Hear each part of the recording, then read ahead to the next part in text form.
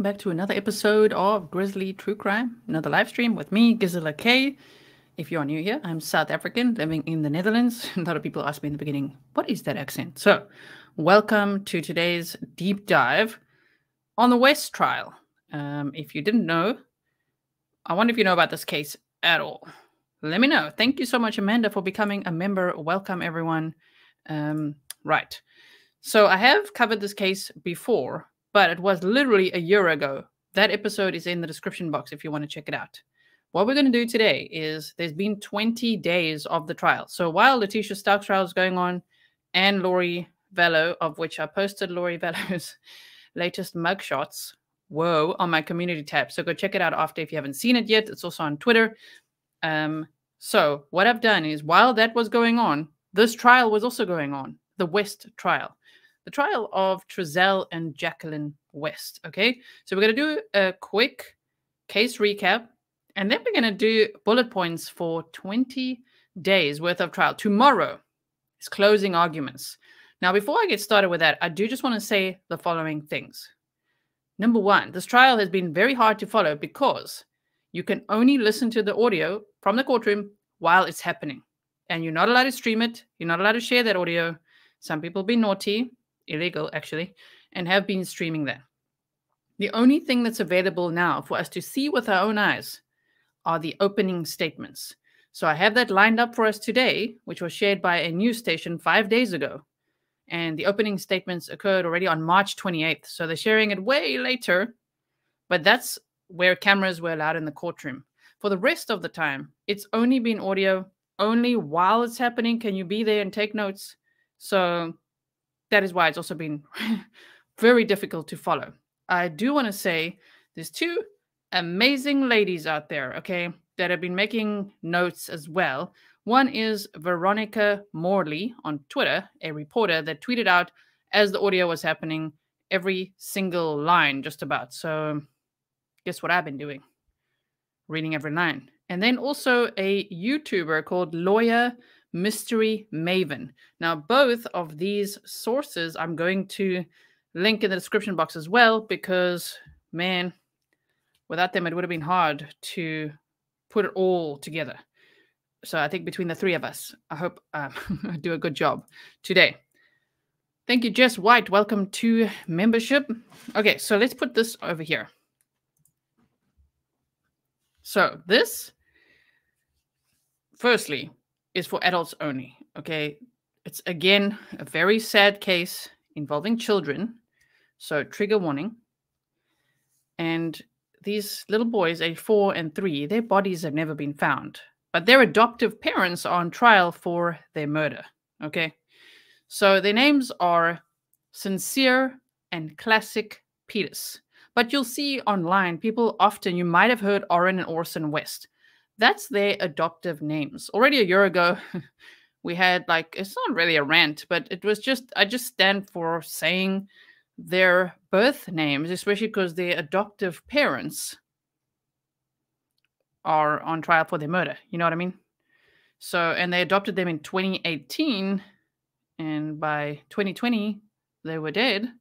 So, Cinsere and classic Pettus I think we can remember them that way. Right? Day one, Hawkeye Seneca says, day one, justice for classic and Cinsere. Yes. So I do always do my best to get to all these trials and updates, but I'm just one person. But let's hope I did a good job for you today. Let's go for it.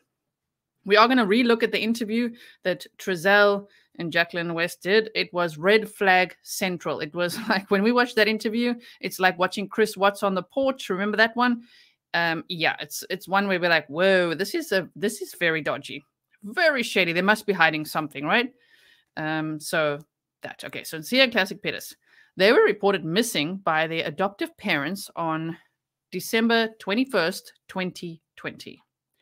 There's already the first typo. We need a typo jar from Bakersfield. Okay, they were so they're from Bakersfield. That's where they were living with um, their adoptive parents and they were reported missing in Cal City, California. And the parents had just moved there as well, so the timing was quite odd. Prosecutors say that they died three months before they reported missing. So that those red flags we saw, oh, they were there. Those red flags were flying. Wow. So their bodies have very sadly never been found. And there's some details today that I'm like, whoa, it sounds like I don't know what the parents did there, but it does sound like uh, like a dumpster or something like that. Very, very sad. The adoptive parents, Trezell and Jacqueline West, are on trial for their murders. A anonymous says, "Don't know anything about this trial, but something tells me what you're going to share will be another horrific, maddening case. Buckled up. Good job for buckling up there, anonymous. Yes. So we're going to look at all of that. We'll look at the interview as well. Now, Trezell, these are them. This, this is Trezell and Jacqueline West. They were arrested on March 1st, 2022. So it took quite a, a lot of time. As I say, these things take time. True crime, you know, it's not like a Netflix episode or something or Dateline. It takes time. So it took some time, right? And they were arrested on March 1st, 2022. They faced two counts of second degree murder, two counts of child cruelty, falsely reporting an emergency, involuntary manslaughter, and conspiracy. Jackie is asking, did they ever find any chalk on the back patio or any drawings with chalk on the back patio? Apparently not. And remember, there was that whole thing of maybe the dogs, the dog was called Chalk. I mean, whoa, this story is quite hectic. So if you do want a, this is going to be a deep dive on the trial. If you want a, I think it was a pretty deep dive a year ago go and check out my original episode, uh, which is in the description box. All right. Yes. So, uh, yeah, Luna says Jackie the dog was called Chalk. That's the thing. They said they were outside playing with chalk.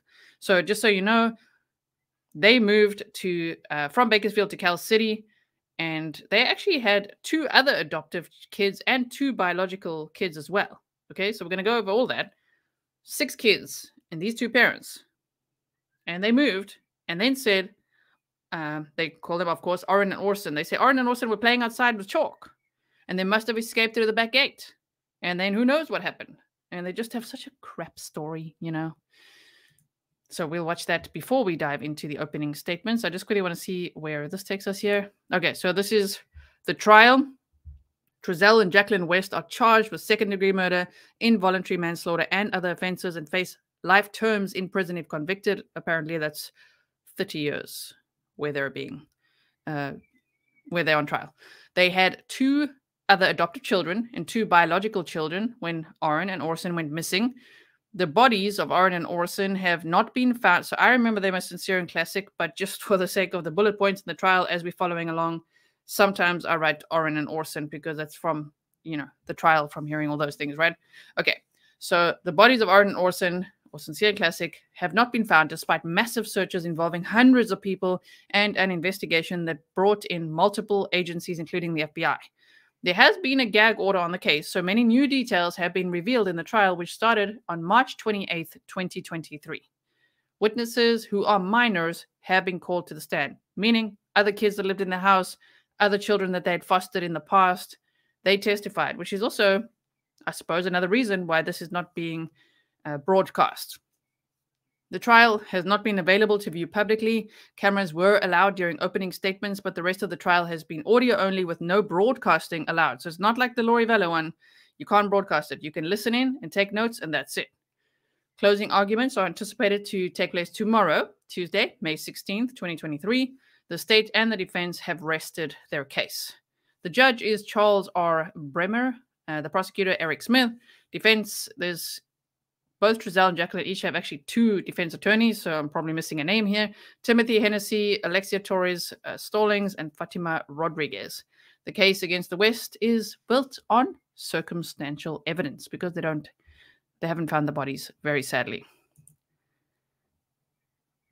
Okay, so let's see. I think this now will take us to. Oh, so we still got a picture here. The West family, 2019 and early 2020.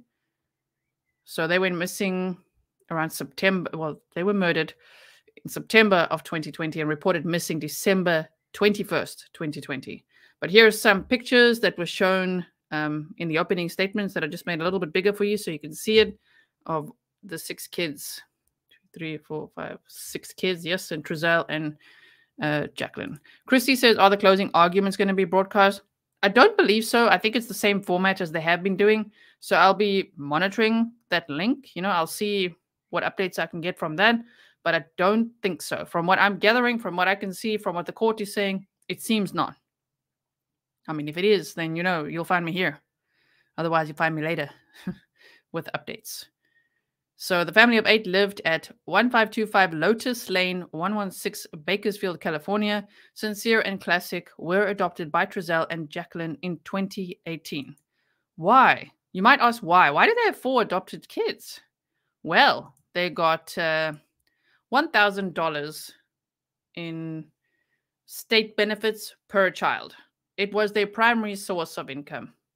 And the kids that testified said, yep, they treated the adopted kids very differently to their own kids. It's very sad. So, yes, okay. Now, what I first want to show you before we look at before we go into day one and two and onwards, there's 20 days that I've done bullet points for you. I want to show you this interview that they did.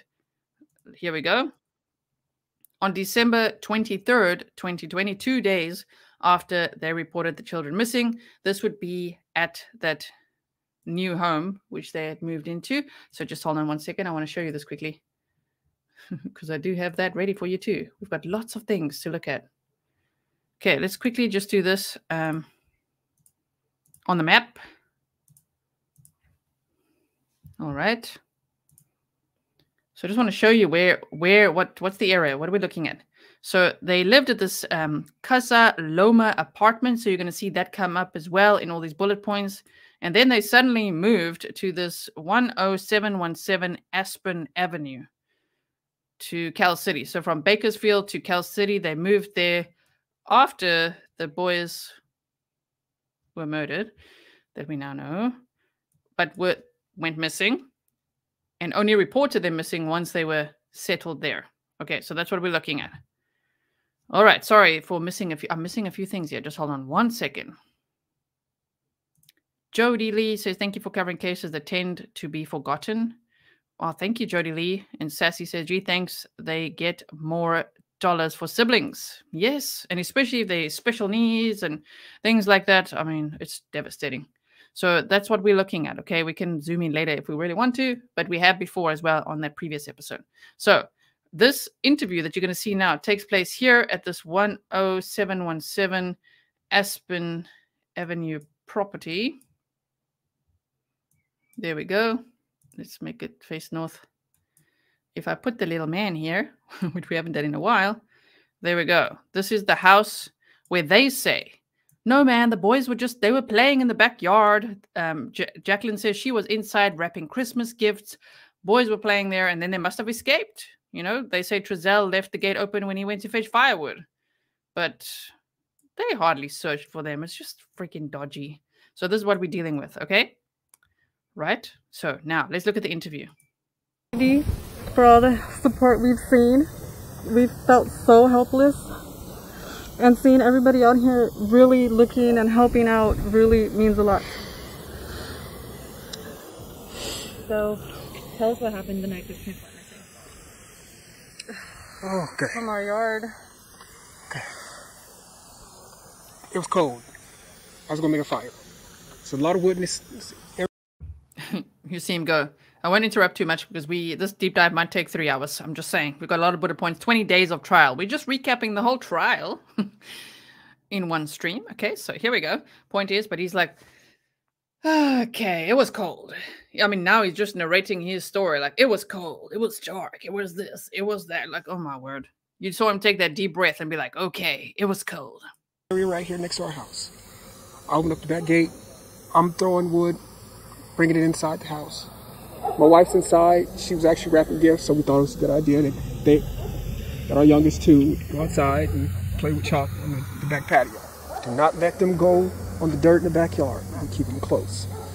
So I was playing with chalk, and I came in the house. I saw them there. in one house. I came back out. I didn't see them there. I immediately went back in, asked my wife, "Did you see the boys?" She said no. They should be outside playing with chalk. I said, well. See, that's what people are saying. They were outside playing with chalk. Now, they don't know if that means the dog or actually playing with chalk. People have argued about that quite a bit. Please remember, yes, this is pandemic time, so they've got their masks on as well. And Cinsere and Classic, known as Orrin Orson, were not there at the house. They were not there at all. Um, you'll hear the kids say later uh, from the bullet points that they say some of the kids say, "Well, they were there. Or, like Orrin was there for one day." But they're not sure about Orson. They're not sure about that. They've got, you know, uh, very vague memories, which I don't blame them for at all. Firstly, they're just kids that testified as well. They're very stressed, and I think they've been through a lot of trauma as well. So this this is all BS right here. This is all the red flags you see in one place. And I mean, Jacqueline is swaying from side to side and just like, uh huh, uh huh. Yeah, she's just, you know, trying to convince the media about this story. So, yes, here we go. Um, BCTV says, "Is this the two little boys? Weren't they twins? They weren't twins. Uh, one was four and one was three. So I think I actually had their. I'm not gonna go. Oh yeah, yeah. I'm not gonna go back now, but I had their birthdays listed on the first slide. Okay, so here we carry on. I didn't see them, so I came back outside and I started searching my backyard. I searched the whole thing. I realized that I left the gate open and I panicked, came inside the house, searched the house, me and my wife. Once that hadn't pan out, I got in the van. I looked down the street, both directions. It was getting dark, getting cold, and I got in the van and I hit a bunch of corners. I went down this street. I turned my light on. I searched. I searched. I called their names. Talked to a gentleman on the street on the other side over there. He didn't see me. So then I came home and I told my wife we need to call the cops. Uh, it's getting dark and I need help. We gotta get going. So I called the cops. Cops came. First thing they did was tell us to stay in the house so they can get a hold of us.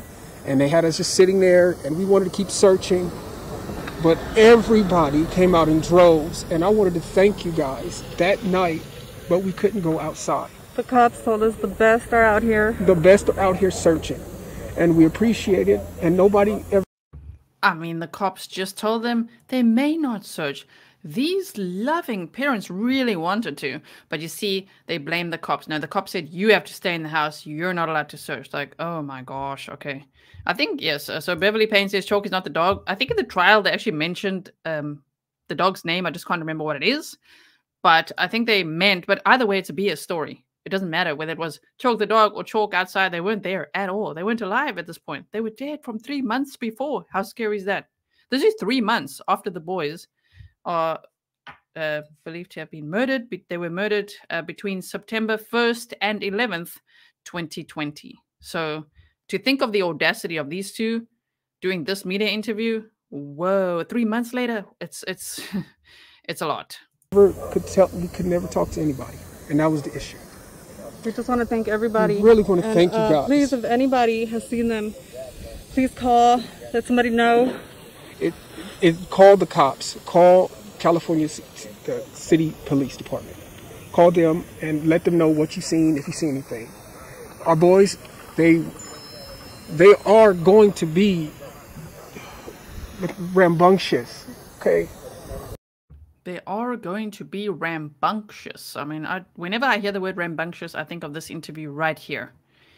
It's just one of those, like when we hear someone say, I just want them home, and then they suck in their lips like that. Yeah, we think Chris was. This one, they are going to be rambunctious. Oh, wow. Okay. And just like call the police, not even like call us or bring them to us, just like call the police. Okay. they are going to be here in this area, and I really would like to go in the houses, but it's not because I want to invade people's privacy. I just want to know if Make they sure. make sure. That's it. Because I don't. Oh, go ahead. I'm sorry. If you got any questions. Oh no, you're good. Oh, okay. I, I was just gonna say, uh, you know, this is the first time we're hearing from you guys, and I I can't imagine what you guys are going through. I can't even fathom it.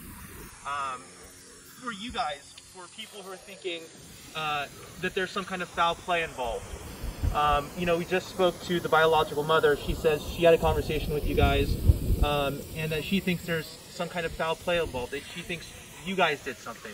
And that's What's understandable. your, what's your response to that? I mean, Jacqueline's response is like, that's understandable. Mm-hmm. Yeah, that's not a normal response. It's like, oh, yeah, okay, they think foul play. Yeah, that's understandable. What? It's understandable. I would think the same thing. Yep. I mean, that's exactly the point. And if we can find our find our babies, then guess what? That's that's no. And that's all I want is to find our babies. That's it. And I talked to her this morning, and I really wanted to tell her that um, I am completely sorry because we were entrusted with her children, and they came to us, and they became our children. And we named them, and they are they are our children, and so we want them back. So please, if y'all could get back on your what you guys are doing, we'll should we should be able to get a hold of somebody, but they took all of our tech, so they wanted to, I guess, uh, just rule us out, which makes sense. That's part of the investigation. So that's pretty much it. Have you guys, um, you talked to the police all last night? Yes. Um, what, so you guys willfully gave them your Everything. Yes, the car. yes. Did they get a, how did they get a search warrant? Did I. I, Oh, no I don't see why they got one, but they got one. we would have let them take need one, anything. We would have let them take everything. We let them come in and search with us. We we asked them to come do that. What did they take? Of course they did, because they knew the boys were not there. They're like, search everything you want. Don't know why they would get a search warrant. Oh, because you covered your tracks for three months already. Just tech, and that's it. Like our phones. From the house Saturday. Oh well, uh, I guess should I answer that? Or? Answer itself, yeah. Okay, so into the into the. Okay, and I guess I don't even know. I see. Yeah, we seriously felt like we needed to be out here. We did. Uh, again, we were told the best are out here looking already. Just to stay put. They have more questions. There was literally a cop with us the whole time in there. He was he had sitting down. We would ask, can we go help? They had to sit Said down. nope. He said, no, we got the best out there. So we need not- you guys here in case we have more questions. I don't want you guys thinking We we, don't. didn't try. We actually We looked tried. before we called We the look, police. yes. And I imagine the uh, mind-boggling part is the search for information. What happened? Where are they? Yes. Et cetera, et cetera. And we're, yeah. and, and just so we are able to s- present the information correctly, um, at what time did you guys notice your kids went missing, and at what time were they reported missing to the police? It's about, I, I believe, I think it was about 4.30, going on 5. It was getting dark, like I said. Five-ish. 5-ish. That's about it. That's when everything played out. And then when did you guys call the police to report them missing? I After we searched yeah. a little bit around here, we it was dark, so we definitely were, we got worried. Uh, would, would you say it was maybe within an hour, a couple hours? No, it was within minutes of us. Within minutes, he says. Wayne he says, wait. When did they report them missing? December 21st, 2020. And they died between Sep- September 1st and 11th. Oh, yes.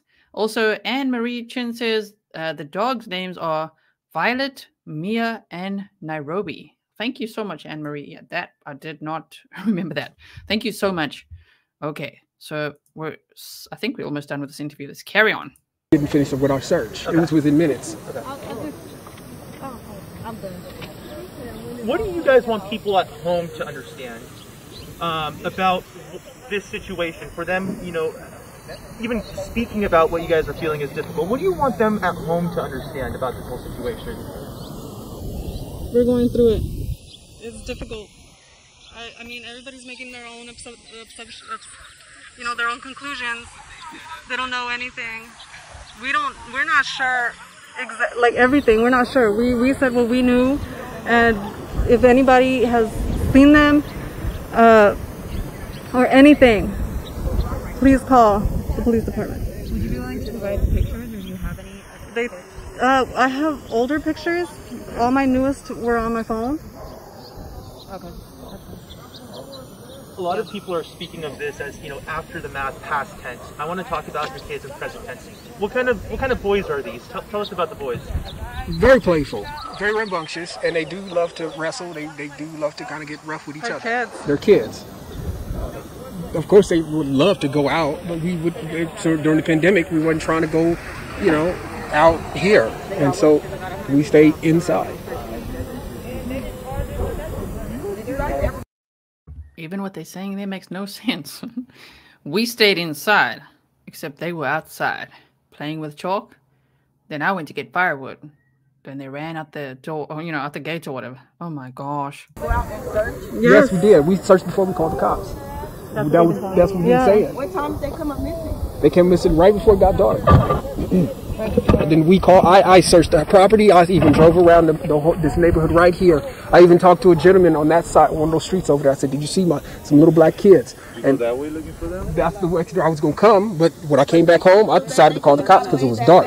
They couldn't have got away that fast. And, and why did it take two people to go in the house and leave two kids out here by themselves? It should have been one parent going in and one parent right here watching the child, not two parents going in the house Oh, oh, and you- leaving so you- two little kids out here by themselves for 10 minutes. No, they were in the backyard, and the So back gate was get up, out the backyard? and the back gate was open, and I was getting wood from you this lot have here. been unresponsible and left the gate open, left some little kids outside with the gate open. All right. Uh, uh, sorry, uh, you, you guys were talk, talking about your boys who you're, you know. Uh, Doesn't make. I understand. Um, for a mother, uh, a mother's intuition. I know you were saying, and we, we'll get your names after this, but you were saying how you feel like they're in this area. Uh, do you feel the same way? And what is the intuition? What is the sense you get? What do you think happened to your boys? Do you think someone took them? Do you think they're lost? Do you think? Yeah, definitely. I definitely know they're not walking around. They're not that kind. They're they they do not just Hmm, you definitely know they're not walking around. Mm-hmm. That was a big tell. Yeah, I definitely know they're not walking around. Someone must have taken them. These two are unbelievable. roam around. You know, these patches. They definitely, I think, definitely would have been picked up or something. That's that was my assumption. Have they ever taken off every No. yard before? No, Nope. They've never taken off in No. years.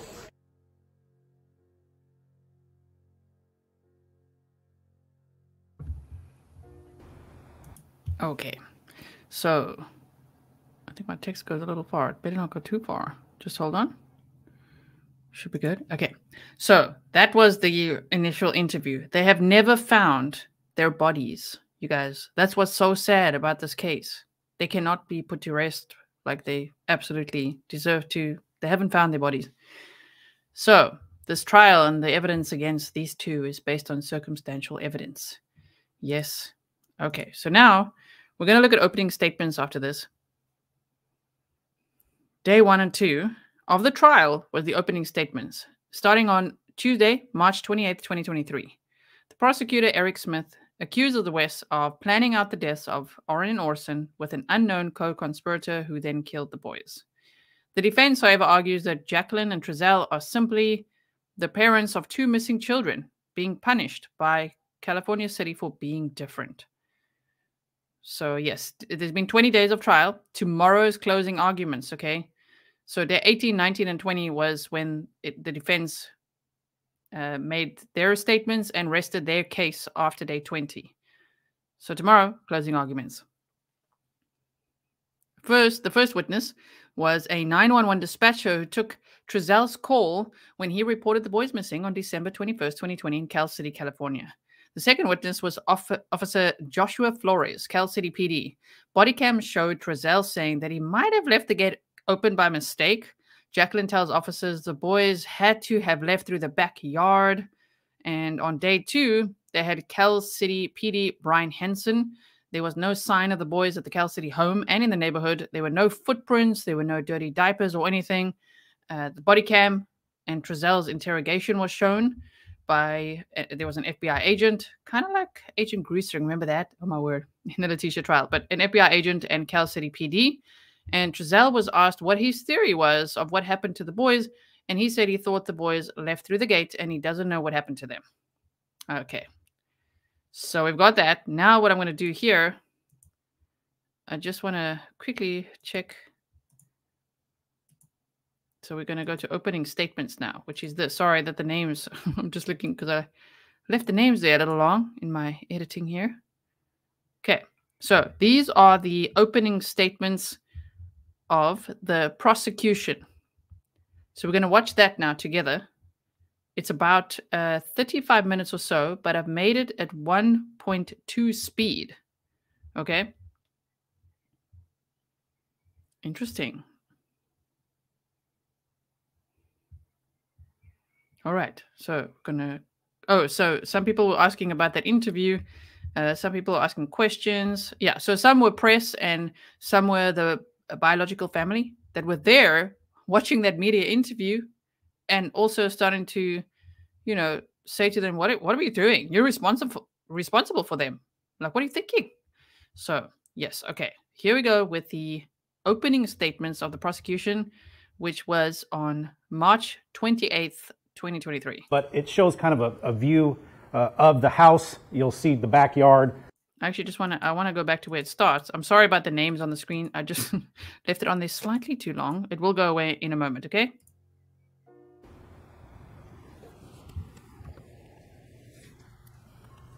All right. Good morning. Uh, just some housekeeping things before I begin. I wanted to introduce the uh, investigating officer in this case. That's Detective uh, Thomas Hernandez from the Bakersfield Police Department. Uh, he was the one who took over the investigation from the Cali- California City Police Department. He'll be here throughout the trial um, as the investigating officer of where the West live. And so that's the reason for the large TV. You, will figure it out once we get through it, but it shows kind of a, a view uh, of the house. You'll see the backyard, the house itself, and the street to the front. So the, the television is here because it has better quality than, than kind of what you sense of that.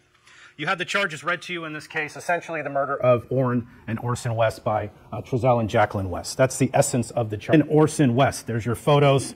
Orrin to the left, Orson to the right. Uh, their names when they were born were Cinsere and classic. They were adopted uh, initially they were foster children, but that is Orrin and Orson West. Their bodies have never been found. Have never been found. Even with the attempts of the California City Police Department, the Bakersfield Police Department, the FBI, CHP helped, uh, Kern County Sheriff helped as well. Their bodies have never uh, been found. Now, they were adopted back in April of 2019. That's a photo you see up in the middle. That's actually the adoption ceremony. You can see uh, the family of Trezell West there to the left in the yellow. That's Wanda West. She'll be testifying in this case. It's the mother of Trezell West. You also see um, Jacqueline Trezell, and they're holding Orrin and Orson. Ultimately, you'll hear testimony in this case that the primary source of income that the West had during this time was from uh, money they received from the state due to adoption. They actually had four children that were adopted. Each one of those children, they got around $1,000.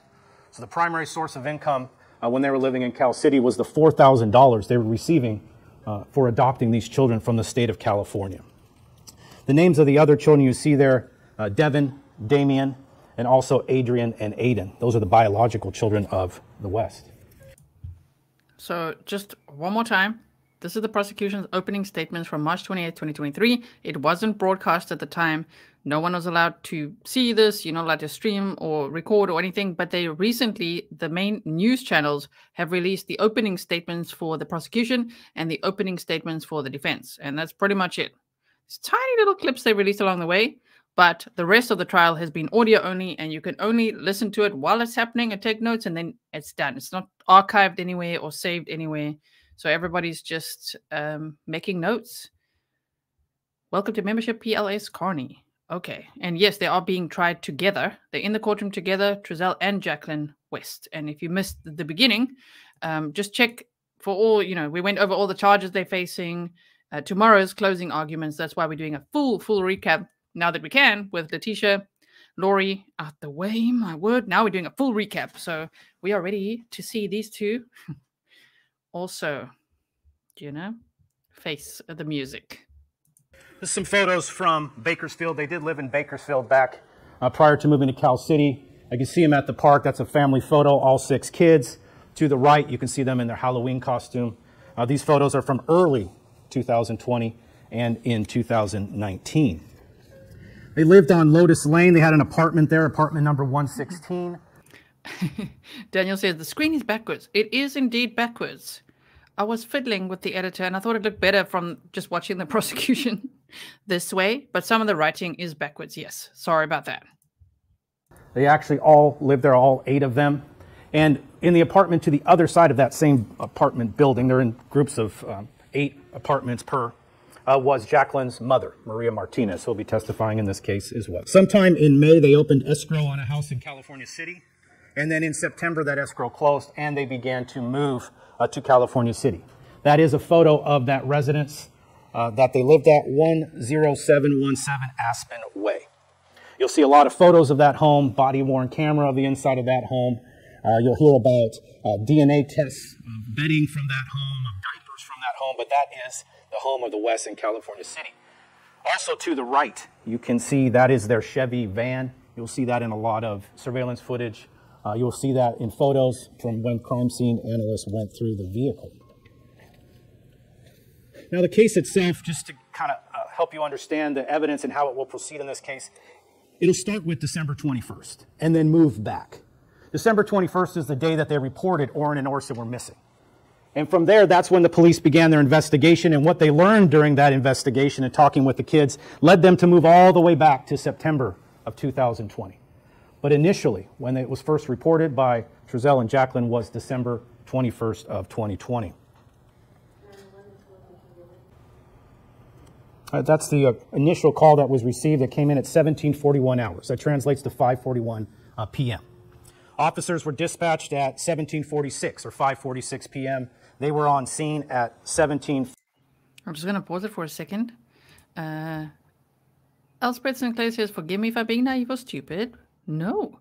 But why adopt two wee kids? They actually adopted four, and it's because they get $1,000 of uh, state benefits per child. So that was their primary income, unfortunately. That's very sad. 48, which is 548.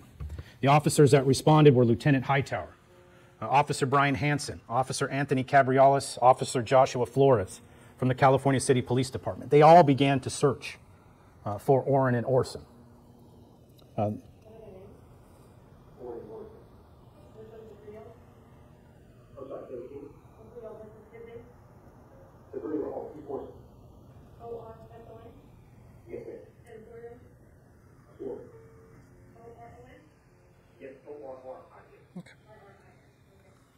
So they receive this information from Trezell, they show up on scene, they know they're looking for a three-year-old and a four-year-old. Now, just to give a sense of kind of what we're looking at, this is in the area of the home at 10717 Calif- Aspen Avenue. The area he's speaking about playing in the backyard, you can see it here, and there is actually a fence uh, in the upper uh, northeast corner of that yard. And that'll become relevant as we go through this. Let me move this, I apologize. There's a fence in the upper northeast corner. That'll become relevant because that's where Trezell West is saying Orrin and Orson, a three and a four year old, exited uh, late that evening from a cement slab on the backyard. So police came, they began to search the home, they began to search the lot next to it, and there was no sign of Orrin and Orson. As I was saying, there is uh, camera footage from a house to the west. This is the footage, and you're going to see a lot of it. You're going to see hours of it. But this is the footage from the house that's at 10649 uh, Aspen Avenue. This is the west residence off to the east of the home. This is when police actually show up. That's Brian Hanson, and you can see uh, Jacqueline and Trezell as they come to approach. So that's the police. They come, they hear what they have to say, they begin to look for Orrin and Orson. They look in the neighborhood, they look in the house, they look in the yards next door, and there was no signs of them anywhere. They got assistance from local civilians. They got assistance from the Kern County Sheriff Department Search and Rescue. To the right of that slide, you can actually see the flight path that the CHP helicopter used as it did circles in the sky, further and further away from the home, uh, looking for Orrin and Orson all the way into the desert. And there was no sight of them. There was agencies from all over that were assisting, people all over that were assisting. Um, they had to call CPS. This is from a CPS referral. Um, they there's so many things going on. There's even miscommunication that go on. You'll see in this, and this will be evidence in this case, that there's mention that there is video footage of the two children walking down the street. There's no footage of them ever walking down the street. You'll hear from officers that combed for surveillance footage. At no point was any footage found that had Orrin and Orson walking down the street. The video I just talked about, the house to the west.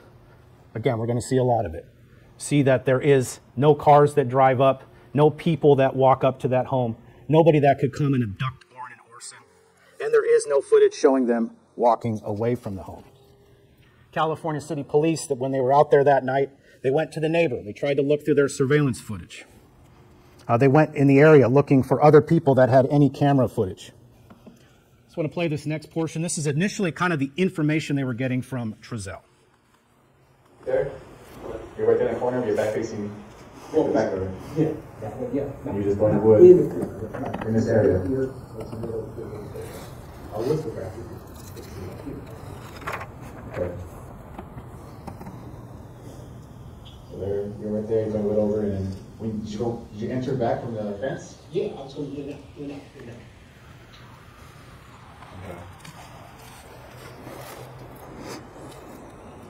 Now, when you, the last, like the last time you came in, did you try to lock it? No, the last time I was in, I was the check to see what I, I was moved to wait for the. Of course, it's again court audio, which means it's not the best. I have tried my very best to boost it as much as possible for you. Um, but really, you could see here Trezell talking about the gate and it being unlocked and being left open and just a whole bunch of BS, okay? So, it not look like we were close, I did close it, you it's closing the dogs. So,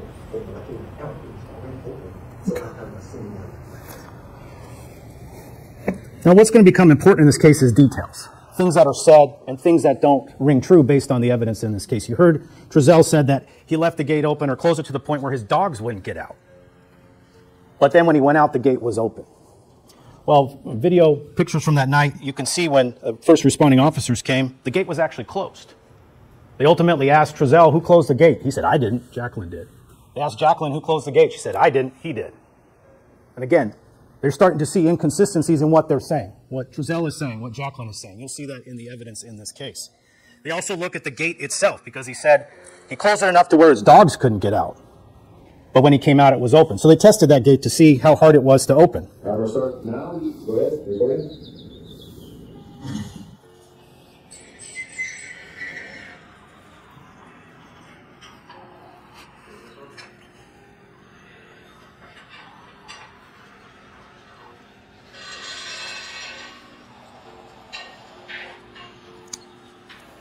Again, these are three and four year old that are supposedly opening the gate. You just saw that it took a grown man some effort to even open.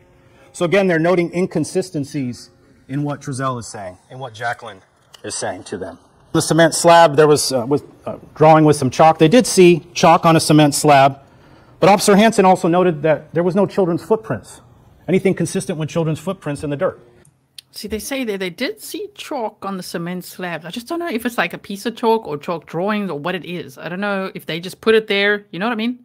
Still so many questions about this chalk. But anyway, Amy says, thank you. Uh, thank you for your channel and dedicated coverage. Thank you so much, Amy. I really appreciate it. He did see footprints consistent with an adult, but nothing consistent with a child walking through the dirt that was between the cement slab and the gate that led out uh, to the field. They, this is just a kind of overview of the surveillance footage that they either viewed that night or were able to recover um, in the following days. Jesse Dobbins, he will be testifying in this case. He is, uh, lives across the street at the time. He had a Nest ca- a camera on the front of his house. He didn't have the full uh, service with Nest, but he had a camera.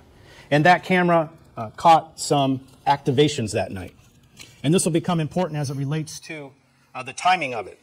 There was an activation at 512, at 538, and at 551. Now, Mr. Dobbins, like I said, lives directly across the street from the West residence. And so his Nest camera looks out across the street, somewhat to the yard to the right, but a lot of the house of the West. You will see based on the surveillance footage that 512 is consistent with the time that Trezell was out getting wood from the yard next to it. 538 is consistent with the time frame of when Trezell returned from searching for the kids. 551 is consistent when law enforcement arrived on scene. There is no activation for any other movement based on what Jesse Dobbins will testify to. Uh, the house that is to the west, again, this is 10649. Put a circle around it, but this is that evening. You'll have to do math when, when we go through it, but it's 57 minutes slow. So this is at approximately um, 509. And you'll see this up in the corner. This is the area with the fence. I'll use my, that area. You can see an individual pulling items in and out of the yard through the fence. So Trezell West was outside pulling wood in and out. He was, in fact, pulling wood in and out. That's his story, sticking to it. Uh, Wayne said, drawing on the street with chalk is a thing. It's a big thing, especially here in the Netherlands. Oh, my word. The kids do it a lot here. um, and Nadrian Markowski, Markovsky said, I called and told the authorities where I thought the bodies could be found. Are you able to share where you think that is or no? through the fence.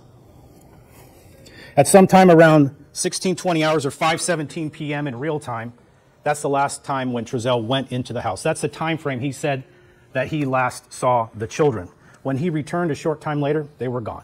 That's where you're going to hear uh, Mr. West say in this case. For approximately 10 minutes in the home, see that he enters his van and begins to drive around the area. At about six minutes later, he returns from driving, goes in the house, and that's when the call is made that you heard earlier. It's also footage from a neighbor that lived to the northeast area on Rome Beauty Drive. Mr. Robert Avalar, he will be testifying in this case. That's footage from his home. It looks out towards the desert area, which is near the Aspen end of Aspen Avenue. He said that evening, you can see a picture of him to the left. This is Mr. Avalar here. Uh, he was outside. He did not see any children walking into the desert. There's also footage that was recovered from 108th Street. It's a white rectangle where uh, showing the coverage of a ring camera. That's Mr. Trezell West's van driving around the neighborhood. Now, again, it's the inconsistencies which lead the officers to investigate, which keeps them talking to uh, Jacqueline and Trezell West. They search the backyard. This is another look of the uh, Now, pause here and there. Martin says, Why is chalk important? Because of their BS story when they talk to the media, three months after the boys are already believed to have been murdered. And I see there's still theories, you know, and there could be theories, okay? There's theories that people say, what if they were sold or what if, you know, but investigators investigators have said based on evidence they believe they were murdered between September 1st and September 11th. And so, anyway, Martin, why is chalk important? Because Trezell's kept kept on saying uh, Orrin and Orson, so Syrian Classic, were outside playing with chalk, and he was just collecting firewood. He didn't realize then the gate was left open and that they just went outside. So, in the initial stages of the case, a lot of people focus on the chalk, you know, like what is it? Is chalk the dog? No, that's not the dog's name now. Okay. So, what does it mean? Were they actually, because the boys were never there. So it could have been chalk for the other kids. They had six kids in total, two of their own and four adopted kids. But yeah, just it's just it's terrible to think that they said no, they never went to play outside, but yet they may have some of the other kids may have had the chalk outside. So that's why it's not actually a big deal, but people were very busy with that because of what Trezell said. Just so that you know. Buttercup, thank you so much. And for those asking, I do put on the screen here um, prosecution opening statement. So this is not the defense. This is the prosecution's opening statements from March 28, 2023. I'm going to play it again now. And then we're going to look at the 17 days of trial bullet points. After that, I'll play the defense's opening statements. Okay? So that's what we're doing. backyard facing the home. And based on some statements uh, by Jacqueline, they actually take a cadaver dog out into the backyard. And you can see the dog there, that's Sadie. She does note that there is something there, but what her handler says is, says is it was confused interest. But nonetheless, based on what Jacqueline said to them, a cadaver dog was taken out there and had some notification based on uh, what that dog smelled. Now, the FBI went and went through that yard, went through the dirt, dug, all those things. No bones were ever found, no body parts were ever found, but the dog did alert or have confused, confused interest at that location. And we will look at more of that in those bullet points. This is the opening statements. We're going to deep dive a lot of what was said in the trial. View Galaxy says, Isn't this band being streamed? Okay, so if you missed the beginning, welcome to the stream. So it is not legal to stream the audio from the court, especially, I mean, people broke that rule. The, the judge was very strict. You can listen in, but you may not stream it. And so that was shut down real quick. Um, and so the thing is, this the opening statements happened on March 28, 2023, for the prosecution. And only now, five days ago, has the media been able to share the opening statements. So they shared the prosecution's opening statements and the defense's opening statements. That's now available for public viewing. There were cameras in the courtroom that day. For the rest of the trial, it's just been when you can when you can listen to the audio, you make notes, and that's that. You may not record it, you may not broadcast it, you may not do any of that. Tomorrow is closing arguments. Now, what truly began the investigation, you'll hear this through Officer Hanson and also uh, the other four children of Jacqueline and Trezell. When they were spoken to the early morning hours of December 22nd, 2020, it's what they said that led to the investigation. Uh, to your left, that's Adrian. That's the oldest biological son of Jack. Sorry, this is um, flipped now, okay? So to the left would be on the right hand side now. Uh, Sassy said they get more dollars for siblings. I remember you saying that earlier as well. Yes. Jacqueline and Trezell. He was 10 at the time. He was asked specifically about December 19th, because that's when they had gone to Wanda West's house, the grandmother's house. They were not home the evening that Jacqueline and Trezell reported Orrin and Orson missing. They were actually in Bakersfield visiting family members. So they were asked, Were Orrin and Orson with you when you came to Wanda West's house in Bakersfield December 19th? Adrian said no. He was interviewed multiple times. You'll hear this through a, a Sonia Barton and also Adrian, that his mother had told him that Orson and Orrin were over at his grandmother's, or Maria Martinez. He told them that Orrin and Orson had left before September, that they went to grandmother's house a couple days after we moved to California City. So again, they're getting a sense of not only were they not in the van on December 19th, that they hadn't been in the home in California City also. To the right, that is Aiden, another biological son of Jacqueline and Trezell. He was asked who was in the car on the trip to Bakersfield December 19th. He said his brothers. And you'll hear evidence when that was clarified by brothers, who do you mean? Devin, Damien, and Adrian. Again, this is Aiden stating that Orrin Orson were not in the vehicle on that trip December 19th. Um, we are going to go through more details. Happy birthday to Rainy Days. Thank you for being here with us. Really appreciate that you're spending some of your birthday here with us. And yes, um, Ryan, the information has been very hard to come by. It's been very hard to follow this story. But I must say, Veronica Morley on Twitter, she's been tweeting out every day, minute by minute, of the audio when the the court proceedings are uh, happening. So that's been really nice as well to see. was asked why Orrin and Orson didn't move to the house. And evidence will show in this case, he said because they cry a lot. And that his mom and dad said they went to the place where they used to live. Again, the investigators are hearing this from not just one, but two children now. That they were not in the home in California City and that they had been taken somewhere else. Moving on to Damien and Devin. Damien, very young at the time, but he was asked, did they move to the house? He said yes, but then they left. They were there only a little day, only one day. So again, Orrin and Orson were at California City, but only for one day, and then they were gone. So at this point, there's three children of Jacqueline and Trezell saying that Orrin and I, I just want to be careful showing all these uh, children's faces. Sorry, I should have blocked it out before, so I'm just going to continue to play the audio. You can hear it still, right? Orson were at California City only for a short period of time, or not at all. Moving on to Devin. He was asked, when's the last time he saw Orrin and Orson? He said, at the apartment. Again, the apartment's in Bakersfield, not in California City. Asked if Orrin had gone somewhere else, he said, Orrin went somewhere else. He went to mom's grandma. So again, four children of Jacqueline and Trezell, all four said that they were not with them when they went December 19th, and they hadn't even been with them in California City. This is a Facebook post uh, that you will see related to Jacqueline West. This is um, the day after, I'll go back, the day after these interviews of the four boys. The next day, or that same day, they were informed essentially what um, Adrian, Aiden, Devin, and Damien had said. And this is a, a message that she sent to Wanda West, who had contact with the boys. Jacqueline said, Please tell them we love them and miss them. And she also said, The boys need to ask for a lawyer if they want to talk to them again. I don't want them twisting whatever they are saying. So the officers take that information September 19th. They begin to look through the footage. They begin to look at that van to see can we see if any kids are getting in? Can we see if four are getting in? Can we see if six are getting in? What can we see? That's footage, kind of a screenshot of the footage from the home. You can see on December 19th at 11:35 plus 57 minutes, that's when people enter that van and drive to Bakersfield. Ultimately, the question will be up for you as jurors, how many children entered that van that day? Return time 1544 or 344 plus 57 minutes. Again, that's the return of Jacqueline and Trezell to the home that day. The total trip time was five hours and nine minutes. Now, you'll hear testimony about that trip, where they went. They went to a home on Potomac, 1109 Potomac. That's Wanda and Philip West's home. And from there, they went to uh, Strata Credit Union, which is on Truxtun and South 8th Street. They then took Wanda home because she had gone with them to Strata. They went to a gas station and to Superior Grocers before they went home. So that's just kind of a list of all the places they went. At none of those places, on any of the surveillance footage, were Orrin and Orson ever seen.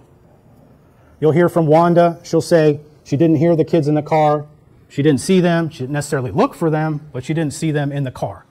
So Wanda West, who got in at the home at 1109 Potomac, all the way to Strata Credit Union, all the way back, at no point being in the car did she hear Orrin, did she hear Orson, or did she see any evidence of them in the car.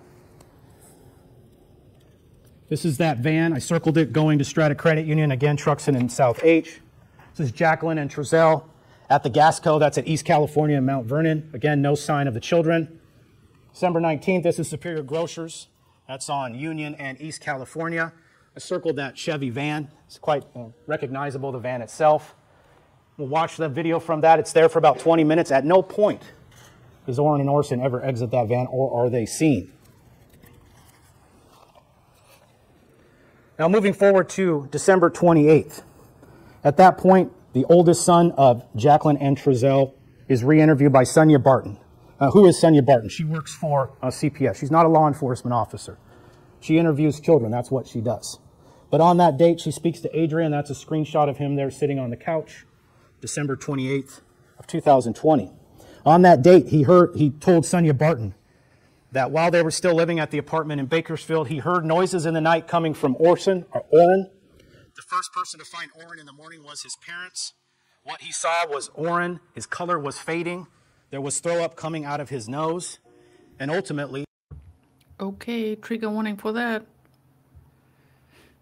he died at the apartment there on Bakers, Lotus Lane in Bakersfield. He told uh, Sonia Barton and also later in his testimony that Trezell and Jacqueline did not call for any medical care for Orrin. Uh, Trezell went to grab something that looked like some form of medical device, maybe a stethoscope, but ultimately they didn't discuss getting medical care for Orrin. They let him die. What they did is they discussed keeping it a secret. Uh, Adrian, both in his interview and ultimately in later testimony, they asked him, that being Jacqueline and Trezell, if they should tell somebody or keep it a secret. And what you'll hear testimony is through Adrian is that he knew if they told somebody, they would be taken away from their parents. Now, as for Orson, again, this is based on uh, what you'll hear in evidence in this case on Adrian's prior statement and testimony. Orson was in California City for about four days. At some point, Adrian heard a loud thud in the night. The day prior to hearing the thud, Orson was there. The day after the loud thud, Orson was gone and he hasn't seen him since. He believed that Orson was taken back to his grandma's. Now, again, the time frame of that uh, interview with Sonia Barton, that's December 28th. This is a call that was heard between um, Jacqueline, Trezell, and Adrian about one week later. We're trying really, really hard to get back. We really. Um, you know, but some things are said, and you just have to know that it's not true, you know? And look, I just want you to know you don't have to talk to anybody if you don't want to, okay? I don't want nobody to tell you what to say, nothing like that. You don't have to talk to nobody. I know they've been asking you a lot of questions, but if you don't want to talk to them, you don't have to, baby. Okay. And as I said before, those four boys will be coming in to testify in this case. But that's their mother, Adrian's mother, about one week after he told them, the police, what had happened at the apartment in Bakersfield, trying to get him uh, not to talk. Now, again, based on the information that they received, the officers began to go back and see if they can interview anyone that did see Orrin or Orson.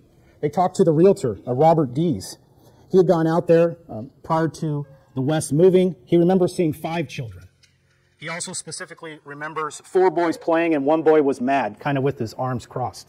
He ultimately identified Orson as being there, but he only saw five children at California City. Now, the pest control uh, individual, Joseph Karshimroom, he recalled six to seven when he went in the home September 15th, but ultimately, when they went out to the Chevy van because he wanted to spray the house, he saw three to four children walking out and one being carried out. Again, the math on that is five children. Maria Martinez, she was asked about whether or not she had seen Orrin and Orson from the date of moving to December 21st. When she was first interviewed, she didn't even know the names of Orrin and Orson. She said that she did not watch Orrin Orson from September forward.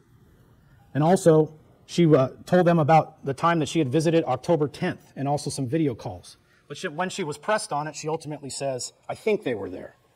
I believe they were there. I can't be 100% sure because right there, I didn't see them. I didn't see their faces. They also asked the sister, Perla Martinez. And ultimately, what she said through testimony is, and you'll hear her testimony in this case, she did have some video calls, but the camera moved around and she didn't really know who she was looking at or who was who. She does remember seeing Aiden specifically, but that's all she remembers. So again, the police are trying to develop at any point has anyone seen Orrin and Orson? I'm going to go through the timeline, the specific timeline of the move to California City. September 11th, that's when they got the keys from the realtor, uh, Robert Dees. September 15th, that's when the pest control individual, first name Joseph, went to the house. September 17, 2020, they went out to Cal City. And then I highlighted this date because it's going to become important in this case. September 18th, 2020, that's the day that Wanda West went out to Cal City to watch the boys so that Trezell and Jacqueline could move. Well, when she went out to California City to watch the boys, that did not include Orrin and Orson. That was only Adrian, Aiden, Devin, and Damien. September 18th, that's when Jacqueline and Trezell drive from California City to Bakersfield to pick up a U-Haul. Wanda West stays with the four boys. Again, Adrian, Aiden, Devin, and Damien. She had no sight of Orrin and Orson. She believed that they were at the grandmother's Maria Martinez in Bakersfield. And again, Maria Martinez will testify she did not watch Orrin and Orson. September 18th, they return. This is the U-Haul that they return in. The van itself stays in Bakersfield. Jacqueline and Trezell return to California City in this van. You'll hear testimony that it's a two-seater. There is no space for children. There is no space for Orrin and Orson. There will be uh, cell phone footage in this case, kind of give a sense of the trips back and forth because it becomes important their trips back and forth because Wanda West helps them unload the vehicle, the U-Haul, helps them uh, watch the kids, takes Trezell to McDonald's, so does these things, and at no point does she see Orrin and Orson over the weekend of the 18th to the 20th. During that weekend, Trezell and Jacqueline are back and forth to Bakersfield in the U-Haul, picking up items. And again, Wanda West believes that Orrin and Orson are at Maria Martinez. There's going to be a lot of video in this case, but listen to the video specific to what Jacqueline says about where Orrin and Orson are when they're moving. She says that Orrin and Orson are with her when they're moving. This is just showing some more back and forth between Bakersfield and California City. Ultimately, again, September 19th and 20th, Wanda and the four boys helped Trezell unload the U-Haul. Again, no sight of Orrin or Orson. On September 20th, Trezell and Wanda return the U-Haul in California City. On September 20th, again, Trezell and Wanda come back to the house. Jacqueline, Trezell, Wanda, the four boys are all there. They hang out for a while. At no point is Orrin and Orson present. On that same day, Trezell and Wanda drive back to the apartments on Lotus Lane. Once they get there, Trezell gets in the van, drives out, gets on the freeway, and goes home. Again, at no point during this time are Orrin and Orson seen. You'll see through the evidence in this case that lines up directly with what Adrian said, the timeline, when Orrin and Orson went missing.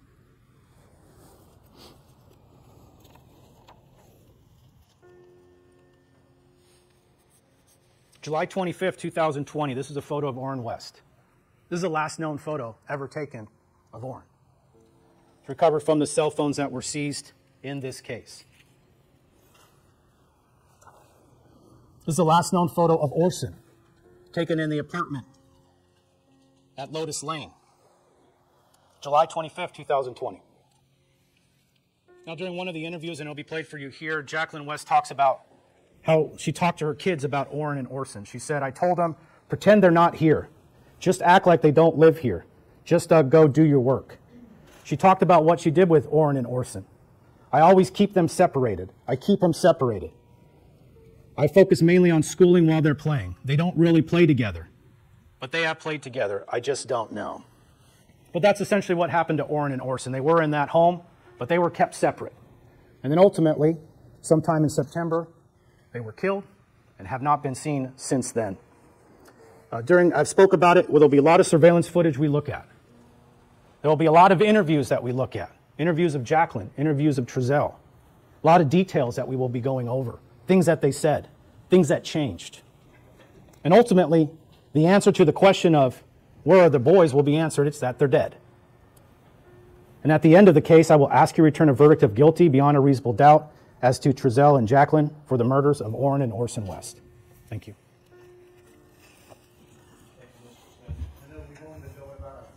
Let's start this. Okay, so that was the prosecution's opening statement. So now what we're going to do is recap the entire trial with bullet points that we have here. I'm quickly going to go back to here just so that if you just joined the stream now, Cinsere and Classic Pettus, that's their real names. That's what they were born as, Cinsere and Classic. They were reported missing by adoptive parents on December 21st, 2020 from Bakersfield. Um, they were reported missing in Cal City, California. Prosecutors say they died three months before they reported missing, and their bodies have never been found. Their adoptive parents, Trezell and Jacqueline West, are on trial for their murders. They are known in the media as Orrin and Orson West, which are their adoptive names. Trezell and Jacqueline West were arrested March 1st, 2022. They face two counts of second degree murder each, right? Two counts of child cruelty, falsely reporting an emergency, involuntary manslaughter, and conspiracy. If you're only joining now, we did, I'll timestamp everything as I always do, but we did look at the entire interview together already, as well as the prosecution's opening statements that happened on March 28th, 2023. I know it wasn't allowed to be broadcast at the time, but now that was from March 28th. Now we're already mid May. They've now been able to share uh, the news stations, mainstream media shared the prosecution's opening statements and the defenses. So we will watch the defenses as well. The defense, um, their opening statements happened on day 18 of the trial, which is why I'm first showing you now the prosecution's opening statements. Now we're going to go over the all the bullet points from day one all the way up to day 17. The prosecution then rested their case. Day 18, 19, and 20, the defense had the opening statements and they presented their case and then rested their case. And now tomorrow there should be uh, closing arguments. And then can't wait can't wait for the next step. So the west trial trezell and jacqueline west are charged with second degree murder involuntary manslaughter and other offenses and face life terms in prison if convicted. They are being tried together. They had two other adoptive children and two biological children when cinsere and classic went missing the bodies of Cinsere and Classic, known as Orrin and Orson in the media, have not been found despite massive searches involving hundreds of people and an investigation that brought in multiple agencies, including the FBI. There's been a gag order on the case, so many new details have been revealed in this trial, which started on March 28, 2023. Witnesses who are minors have been called to the stand. The trial has not been available to view publicly. Cameras were allowed during the opening statements, but the rest of the trial has been audio only, and you got to catch it when it's happening. You cannot stream it, you cannot broadcast it, it's not archived or anything like that. Anna Green, thank you so much. You say Bakersfield is only 45 miles from me. Wow. Okay. And thank you so much for that. Closing arguments are anticipated to take place tomorrow, Tuesday, May 16, 2023. The state and the defense have rested their case. The judge is Charles R. Brehmer, Charles R. Brehmer. Prosecutor Eric Smith, defense Timothy Hennessy, Alexia Torres Stallings, and Fatima Rodriguez. There's another defense attorney whose name I didn't put in here. Sorry about that. But each, Trezell has got two defense attorneys. Jacqueline's got two apparently as well. So there's that. And uh, the case against the West is built on circumstantial evidence. So, because they haven't found the bodies yet, they do say investigators believe that they were murdered between September 1st and 11th. However, they haven't found their bodies, so I'm not too sure exactly what that evidence is. I always fear that it's digital. I really worry about that. But um, yeah, the case is sad and scary enough as it is. This is uh, pictures from the West family, 2019, early 2020. The family of eight lived at 1525 Lotus Lane, number 116, Bakersfield, California. Cinsere and Classic were adopted by Trezell and Jacqueline in 2018. We did some map time as well. So now day one and two, we just saw the opening statements that took place on Tuesday, March 28, 2023. The prosecutor, Eric Smith, accuses the West of planning out the deaths of Orrin and Orson with an unknown co-conspirator who then killed the boys. The defense argues that Jacqueline and Trezell are simply the parents of two missing children being punished by California City for being different. The first witness was a 911 dispatcher who took Trezell's call when he reported the boys missing on December 21st, 2020 in Cal City, California. The second witness was Officer Joshua Flores. I'm reading a bit fast now because we went over this before. Okay, to recap. Body cam showed Trezell saying that he may have left the gate open by mistake. Jacqueline tells officers the boys had to have left through the backyard. On day two, Cal City PD Brian Hanson said there was no sign of the boys at the Cal City home and in the neighborhood. There were no footprints, there were no dirty diapers or anything like that. Body cam was shown and Trezell's interrogation was shown uh, involving an FBI agent and the Cal City PD officers. Trezell was asked what his theory was of what happened to the boys, and he said he thought the boys left through the gates and he doesn't then know what happened to them. So, wow, that's a really easy story to stick to. I don't know, left the gate open and I don't know what happened. So, Cal City PD on day three, Officer Brian Hanson was back on the stand, and neighbors of Trezell and Jacqueline were also on the stand. And some witnesses have actually testified via Zoom as well. So the other children told officers that they hadn't heard Orrin and Orson cry. Neighbor Jesse Dobbins said he went to borrow an air compressor and noticed four children at the home. Robin Plants, I know here in the opening statements they said one of them that was the real estate agent noticed five. So there's different accounts.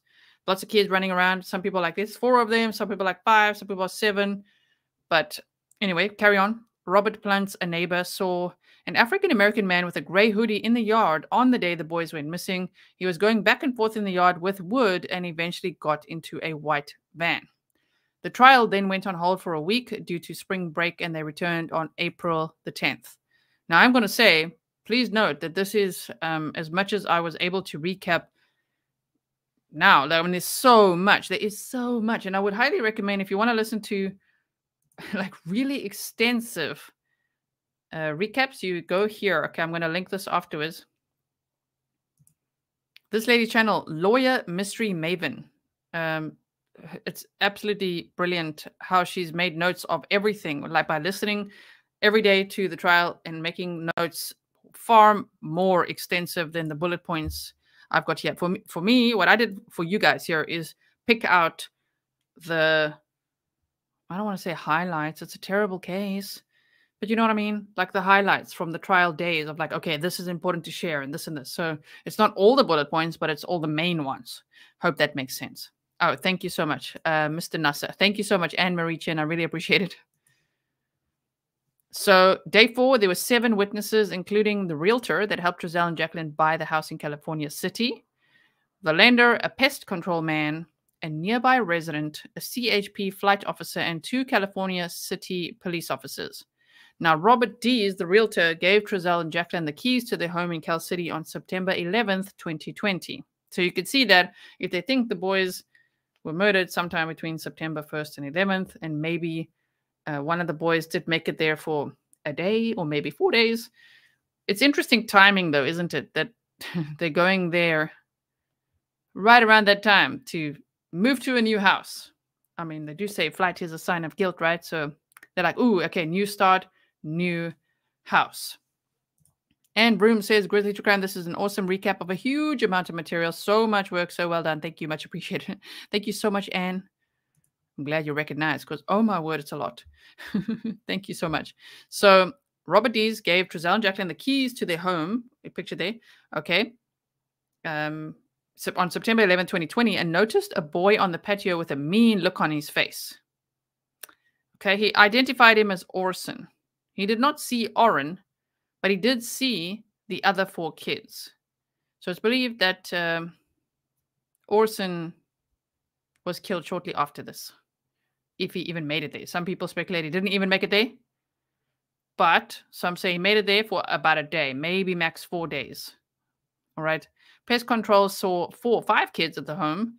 They treated the home for ants or spiders. And yeah, the West's uh, primary source of income was from the adoptions of four kids. And apparently, you get a little bit more if you adopt siblings. So that really sucks as well. Man, I feel so terrible for these kids. Day five was on April 11, 2023. A Cal City uh, PD officer, Jesse Hightower, was on the stand for most of the day. Noted that when speaking to Jacqueline, when the boys were reported missing, she did not show any anxiety or frustration or anger. It's much like Letecia. We all that's all fresh in our minds. If you did watch that entire trial with me, it sounds like watching those because of course it was audio only so you can't see the videos but it sounds like that we're like huh you're not showing a lot of anxiety or frustration or anger huh now hightower found a firearm in the house and it was on body cam they said they heard him saying hide it and he placed it under a blanket in the top bunk of a bunk bed so i'm just noting that okay Trezell told officers that he thought the boys' biological parents took them. You see, it's like Letecia. Standard criminal 101 where they're like, okay, okay, how will we deflect? First, let's wait three months in this case, and then let's blame the biological parents. Yes, okay, he said he heard a rumor and it scared him because the other boys were in the house. Okay.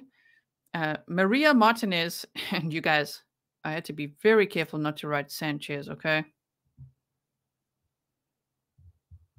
I'm going to read this comment out. Cha Cha said, When two children are murdered from the same family on different days, they always seem to murder the older one first, knowing the older one would ask too many questions. Same with Tylee and JJ. That's true as well, Cha Cha. Yes, that's true as well.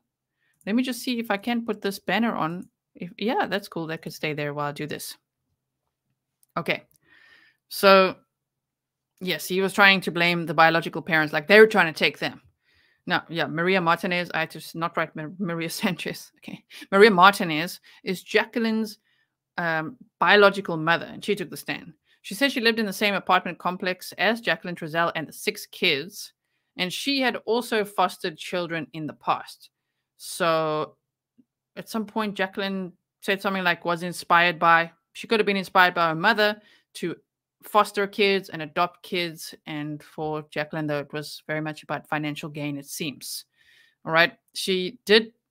Uh, she did know the names of the four adopted children. I, I think I meant to write did not.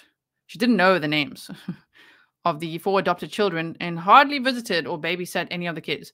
Like, so they've got a bit of a distant relationship, huh? She didn't know. That's a typo. Didn't know the names of the four adopted kids hardly visited or babysat any of the kids. Maria says she did not know that they were moving to Cal City until they did. So, odd relationship that. Um, meaning, so everybody believes for a time that, you know, when the boys went missing, oh no, they with Maria. But Maria doesn't even know their names.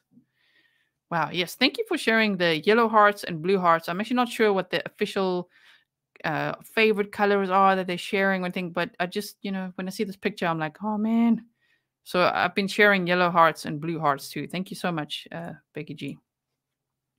Okay, day six and seven of the trial, Maria Martinez was back on the stand. That's Jacqueline's mother. She says she visited the Cal City home in October to give them plants. Jacqueline came outside.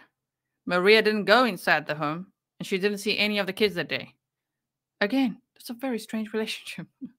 I'm really trying not to judge, but like, damn, it just sounds like she's obviously very polite. Okay, very polite. But Jacqueline's just like, no, no, no, no. You just wait outside. It's quite a drive, though. You're going there with plants, and then you just have to wait outside. You can't go in the home. It's a bit odd. One would think if she's her mother, I don't know, she's bringing her plants, like, let me carry it inside. Let me see where you're going to live. But it doesn't seem like that that was happening, right? um, someone asked where um, Groovy Tuesday said, I wonder why they chose that date to report the kids missing. There was rumor initially that they said maybe because they realized, oh man, Christmas is around the corner. People are going to realize they're missing, you know? So Jacqueline apparently never showed her pictures of the kids on Facebook or on calls, and she thought it was weird. I think she had a translator. Maria, this Maria actually speaks Spanish. December 2020, around the 5th, Trezell actually drop, uh, dropped Jacqueline off at her mother's apartment for a few hours to celebrate Jacqueline's birthday. Maria didn't go outside, didn't see the kids. Jacqueline told her the kids were with Trezell's mom. Later that day, Trezell had tried to load some wooden planks, later said a shelf, into the van, but they didn't fit. Maria recalls visiting the Cal City home twice, and she says she saw Orrin and Orson. But before she says she doesn't even know their names. okay, but she says she saw them. She says they were in the living room. Reminder, yes, she didn't know the names of any of the adopted kids. So I don't know. Maybe she just saw kids in the living room. Probably not them though. especially because one definitely didn't make it there and the other only maybe for a day or four. Okay, so she, yeah, October, no, she definitely didn't see them there. She's like, oh yeah, I saw them. They were in the lounge. No, no, no, no, those are the other kids. She said she saw them last on October 10th, 2020. August, September, October. Nope, not possible at the Cal at the Cal City home. She said she saw all six children there. Again, not possible. it's not possible. Jane Lowe says, What was the motive? No one really knows, but they sound extremely abusive. So, yeah, trigger warning for upcoming content as I break down this trial as best I can for you guys. Maria's kids uh, were also checked for bruises or signs of abuse just in case. It seemed like Maria and Jacqueline lived very different and separate lives. Maria is Jacqueline's mother. Latoya Spry Sanders took the stand. Man, that sounded hectic, you guys. This was a very emotional testimony from the sounds of it. She fostered Cinsere and Classic for about a year and said she loved them as if they were her own. When she fostered them from when Cinsere was four months old and Classic was 11 months old. It was a very emotional testimony, and jurors were apparently crying during her testimony, which I think is good. Okay, they will remember that when it comes to deliberation. Uh, Cinsere Orrin needed extra care because of an injury to his leg. She said the boys were removed from her home after an unfounded accusation regarding her biological daughter. So apparently, her biological daughter went to school. There was a scrape on her leg, and someone called CPS just to check on her and check the scrape. And because she was fostering these kids, they immediately took away the foster kids and her daughter, apparently. So that was around March 9th, 2018. And then Bakersfield PD Detective John Ryan, who also worked for the FBI, he said he was called on December 22nd, 2020. So that's a day after they reported the boys missing. He was asked to assist with the missing boys case. He went door to door to get leads. He spoke to Trezell to get a baseline and to try to establish what had happened. Video evidence was then presented. Jacqueline wasn't sure of the boys' birth dates. So I'm just noting the important things I say again. It's not everything. I'm noting the important things. Jacqueline had no idea. Like, what are their birthdays again? I don't know, man. Like, she didn't care. She wasn't sure how long the boys were outside before Trezell came back inside. So she's just playing dumb, pretty much. Trying to hide what she really knows, right? She said that their the other four kids were with her mother-in-law, Wanda West. So this is one of those where between Trezell and Jacqueline, they're both pointing at each other's mothers and like, oh, those other kids, yeah, they were them. But apparently, I think the four kids actually were at that time with Wanda West, Trezell's mother. She had them. We're going to go over that somewhere in here. From, I think it was from December 19th, and she was supposed to have them until New Year's, which just shows also how calculated Trezell and Jacqueline were because they're like, okay, you you take care of the kids. We're going to be in Cal City. We're going to do some media interviews. It's time to report them missing. But then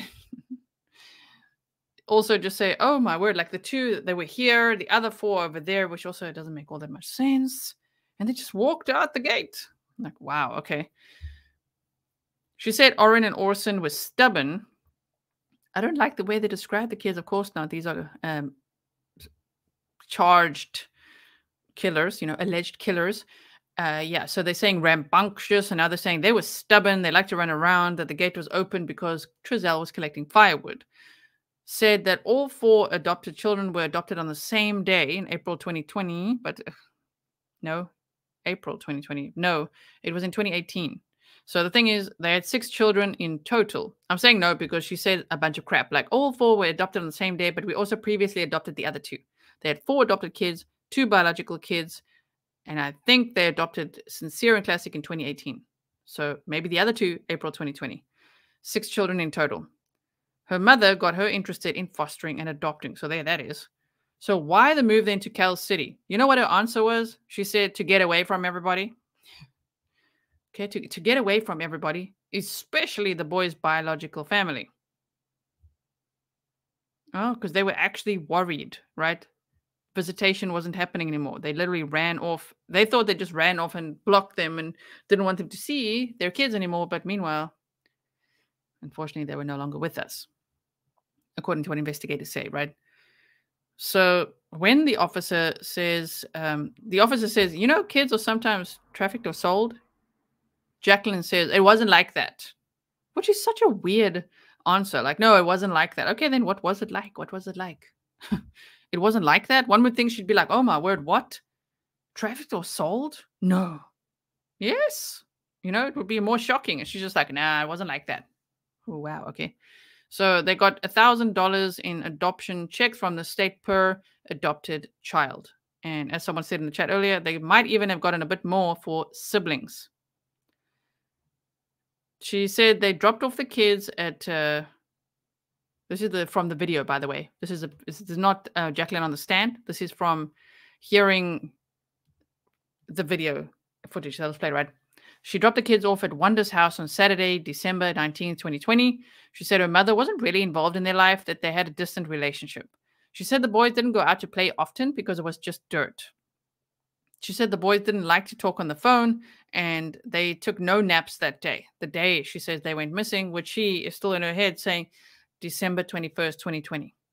She didn't know where the boys would have gone. She noticed other kids playing, but she didn't think to go out there and talk to those other kids and say, Hey, did you see anything? Just like, damn, like red flags everywhere, of course. Um, so she said police told them to stay home, even though they wanted to keep looking, which we also saw in that interview.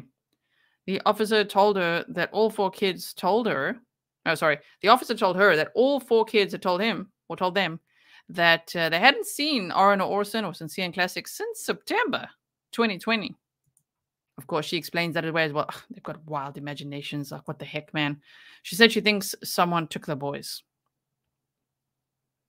She said the other four children don't get along with Orrin and Orson. What? She said they're just little kids. They will say anything. so if all four other kids are being interviewed it must be so stressful. But separately and they're all like yeah we haven't seen um sincero classic which they knew as orrin or orson since september. She's like yeah just little kids they'll say anything. Trezell's youngest brother, Josiah West, took the stand and said he did not see the boys at any point after the family moved to Cal City.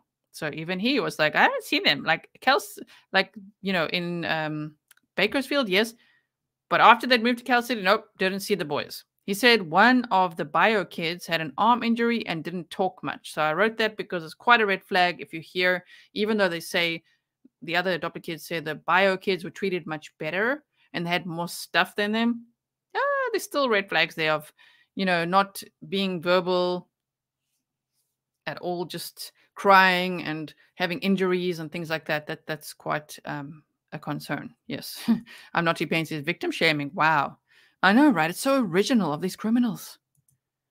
Yes. Okay.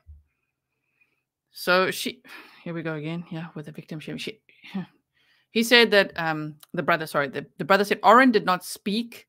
He was not an experienced talker. Well, he's just reporting the facts here, right? He was not an experienced talker. He mostly cried, made noises, stuttered, or mumbled, which I don't know, just based on the bit I know about cases like this, I think that would be a, that's a bit of a red flag. That shame. He referred to Orrin and Orson as heavy criers and said they were like twins and said the home looked like a military garrison. Like beds really low, very minimalist would be a nice way to describe this. They say very military, very disciplined, very, you know, not child friendly, put it that way. Now, Charles Pettus, the father of the two boys, the biological father of the two boys, he testified. He was asked if he himself kidnapped the boys, and he said no. There was video interrogation shown um, of Jacqueline West from December 22nd, 2020. Ishel Hill, I hope I'm saying that right. Ishel, Ishel Hill, CPS testified that there were no photographs of the children in the house. And it was really hard to find recent photographs of the boys, too.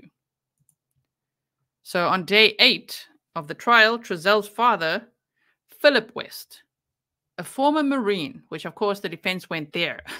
they were like, he's a former Marine He's the one that taught Trezell how to have this military type boot camp house.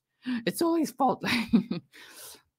good one, defense. Good one. Oh my word. I mean, they got to do something, right? But anyway, Trezell's father, Philip West, a former Marine, said he had also not seen Orrin and Orson since the family moved to Cal City. So there's now a second person saying that. Philip said he was still mind boggled by the situation. More video footage was shown.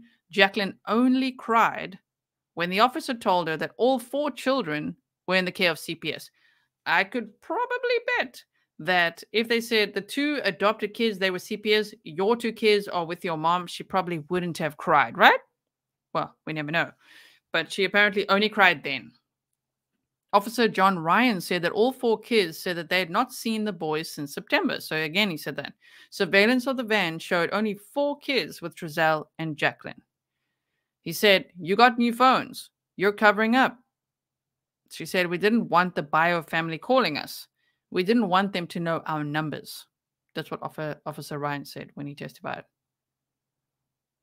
Brenda says, How were they ad- allowed to adopt children? Yeah, the system, it's pretty pucked, right? I'm not T-Pain says, let's just pass the blame to everyone except the people responsible. yes.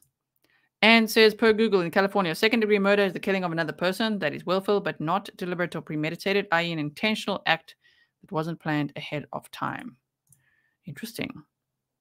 Okay, so day nine, cross examination of Officer John Ryan. the defense grilled him for his investigative technique, saying it was too harsh, that he was threatening uh, Jacqueline, saying, You're going to lose everything. You're going to lose your kids. Uh, what did you do? And they just said it was a bit too harsh. Uh, there was a radar device used uh, to search the west backyard. They found nothing significant. There was a dog that was trained to detect human remains that actually alerted um, at a mound in the yard, said search and rescue volunteer Tammy Sullivan, the animal's trainer. She said the Australian Shepherd Sadie can detect the scent of blood, bone, or bodily fluid. The FBI dug up the yard, but they found nothing. She was signaling to something, Sullivan said. As to exactly what it was, I do not know. Then, on day 10 and 11, there was the cross examination of Officer John Ryan. He was grilled again. Okay, I've still got that. Sorry, that's still going on. That's a copy. That's a copy paste there. I wrote it twice. we carry on. Let's just quickly see. Uh, oh my yip says, Hi I don't know the case yet, but cannot find material in Grizzly's archive. Can anyone tell me where I can find more info, please? In the description box, I have linked the deep dive we did about a year ago on this case. I do also think I have a playlist for this. I'll put that in the description box afterwards as well. But if you go to the description box now, the first video that I made is there. So if you just click out of the chat and go to the description, you'll see a little write up I did. You just click more and you go down, and then the link will be there. It says first video I did on this case. Okay, so here we carry on. Trezell and Jacqueline were not where they told police they were on December 19th, because they were like, we were here, we were there, you know, this gas station, that place, whatever. But surveillance showed them at other gas stations, other locations. So already then police were like, damn, these people are lying. A woman, another Maria, Maria Salas, who was visiting her daughter in Bakersfield. Now this this this one got interesting, okay? She was visiting her daughter in Bakersfield. She said she saw Trezell and Jacqueline walking in September of 2020, and she just felt something wasn't right when she saw them. She heard a really now uh, a really loud noise outside, and then saw them walking away from a dumpster carrying an ice chest, which is what I have in the background here. That's kind of how they described it, and assumed that the noise she heard was from, from them throwing something away. Well, that makes me very sad because we know how it goes with these cases. We can only imagine what they were doing, right? Warrior Aphrodite says, why didn't they just give them back to their parents or CPS? Because they want to cash in and they want to keep cashing in. And they probably thought, oh, it's fine. We'll get away with this. Everything's good you know, type of they'll never find the body, something like that. I'm not T-Pain says, wow, keeping the children away from their biological parents, horrible. Yep, and Brenda says she took no pics of them because she felt no love or connection towards them. Mm-hmm. So, this woman, Maria Salas, was visiting her daughter, right? She saw Trezell and Jacqueline walking, carrying an ice chest. She heard a loud noise, looked outside, and she's like, whoa, they're walking away from a dumpster. and she assumed the noise she heard was from them throwing something away. She felt so uneasy about it that she called her daughter later crying. She was sobbing. She was saying there's something not right with this. They they were up to something, they did something, but the daughter said, Don't worry, there's always people at that dumpster. There's people there all the time. So man, you know, if you feel like that ever, you guys call the police. Rather be safe than sorry. Rather call. You just never know. You know, if it could um, help in a case. Wow. Hawkeye Seneca says this case was initially the one that made me subscribe to this amazing channel. Thank you so much. Uh, Crime Mystery Monster says if they give back or they are taken after they adopt, they have to pay child support on them. Oh my word. Okay, okay. That's interesting. I didn't know that. Well, well, there you go. They're like, why don't they just give them back? They're that they're like, well, if we keep them, we make money. So yes, she called her daughter crying. She said not to worry. People wear their dumpster all the time. Salas later saw Trezell and Jacqueline on the news, and she's like, "That's the couple. That's who I was talking about." Wow, like her her gut instinct was telling her something was very wrong. Now on day twelve, a forensic examiner said that they tested the van for blood. There were very small spots on the bumper that reacted positively to Blue Star reagent, but they said it was smaller than a grain of rice.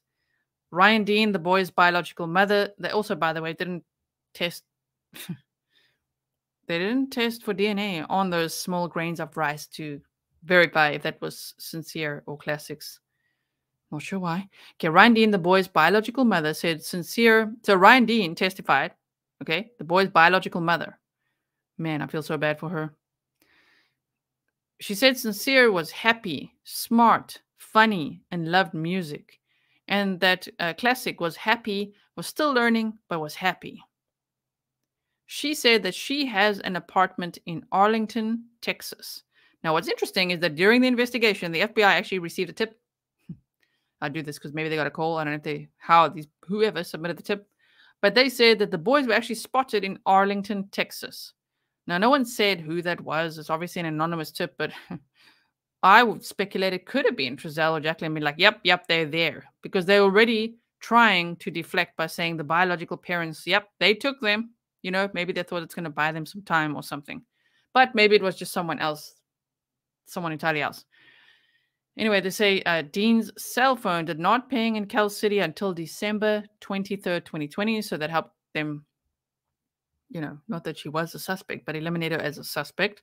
She wasn't even there in the area at all until December 23rd, 2020, which is where we heard her in that media interview. She was there in the background as well. That was the day she went to see Trezell and Jacqueline to question them. She said they had no emotion on their faces. Jacqueline West's sister Perla Martinez took the stand. She says she did not ever meet the children that they adopted. Now, she bought the kids Christmas gifts in 2020. So she'd seen pictures of some of the kids. She bought the kids Christmas gifts, okay? Now, remember, when Trezell and Jacqueline said in that footage we saw, their interview with the media, they said Jacqueline was inside wrapping Christmas gifts Trezell was outside collecting firewood and the gate was left open, and that's how the boys ran away. And that the other four were with uh, Wanda, Trezell's mother. That's that was their story. Who wants to bet that those Christmas gifts were not bought or wrapped by Jacqueline, but they were they were really the gifts that Perla had sent, right? Lizard Blizzard says one, they deserved a loving home. It's about the kids, even if that means do parenting with uh, with biological parents. Two, maybe they were safer with bio parents, right? Yes, thank you so much. Perla never saw photos of the four adopted kids until after the boys went missing. Witness Officer Perez said photos from September show the four kids and not Cinsere or Classic, Orrin and Orson. Mm-hmm. Then on day 13 to 15, day 13 was mostly DNA evidence and phone call exhibits. so that takes me back to Kevin Clark's type timeline. You know, in the Letecia Stauch trial, it was a lot of evidence. They brought receipts, okay?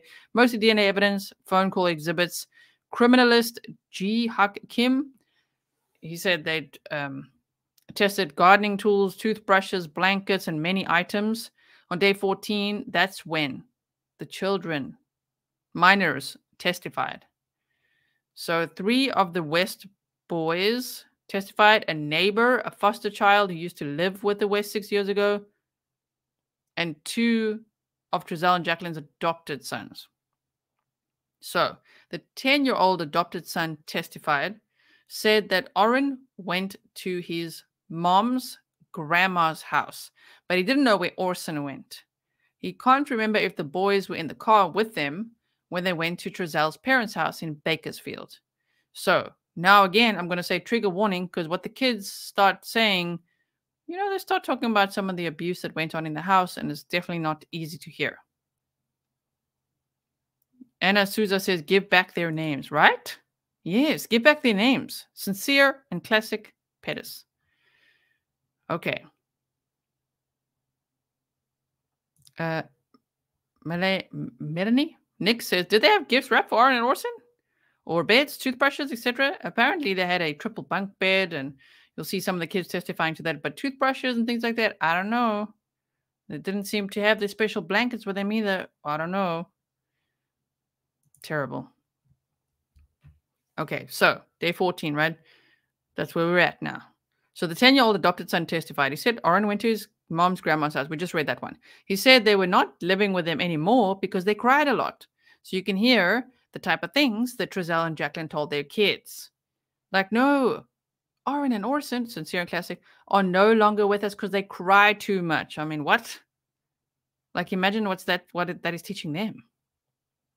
It's terrible. It's really sad. So his his mom and dad told him that they went to live where they used to live. This was before they moved. The second oldest son said that Orrin and Orson were at the Cal City home for one day. He doesn't know where they went after that. He remembers triple bunk beds and he thinks that Orrin and Orson were there, but he can't remember clearly. Now, take it easy on the kids, you guys, if anyone's going to be like, oh my word, because their story is definitely it's very you can hear their memory is very foggy and i really firstly they're kids so i would never blame them they're kids number one two i think they're very traumatized and then already memories can just be uh, quite foggy right oh my yep i hope you found it thank you so much for your four euro super sticker i hope you found that video it's so messed up, right? I'm not T-Pain to make the children seem bad because they were crying a lot. Like, oh, they were crying so much, we just gave them back to where they, the family they came from, right? I mean, wow. The other kids must be like, whoa, okay. My gosh. So the second oldest son remembers triple bunk beds and he thinks that Orrin and Orson were there. Of course, we know one definitely wasn't, right? But he can't remember clearly. Then an eight year old adopted son refers to the Cal City home as the High Desert House. He remembers Orrin and Orson being there with them. He said he played with the dogs in the backyard.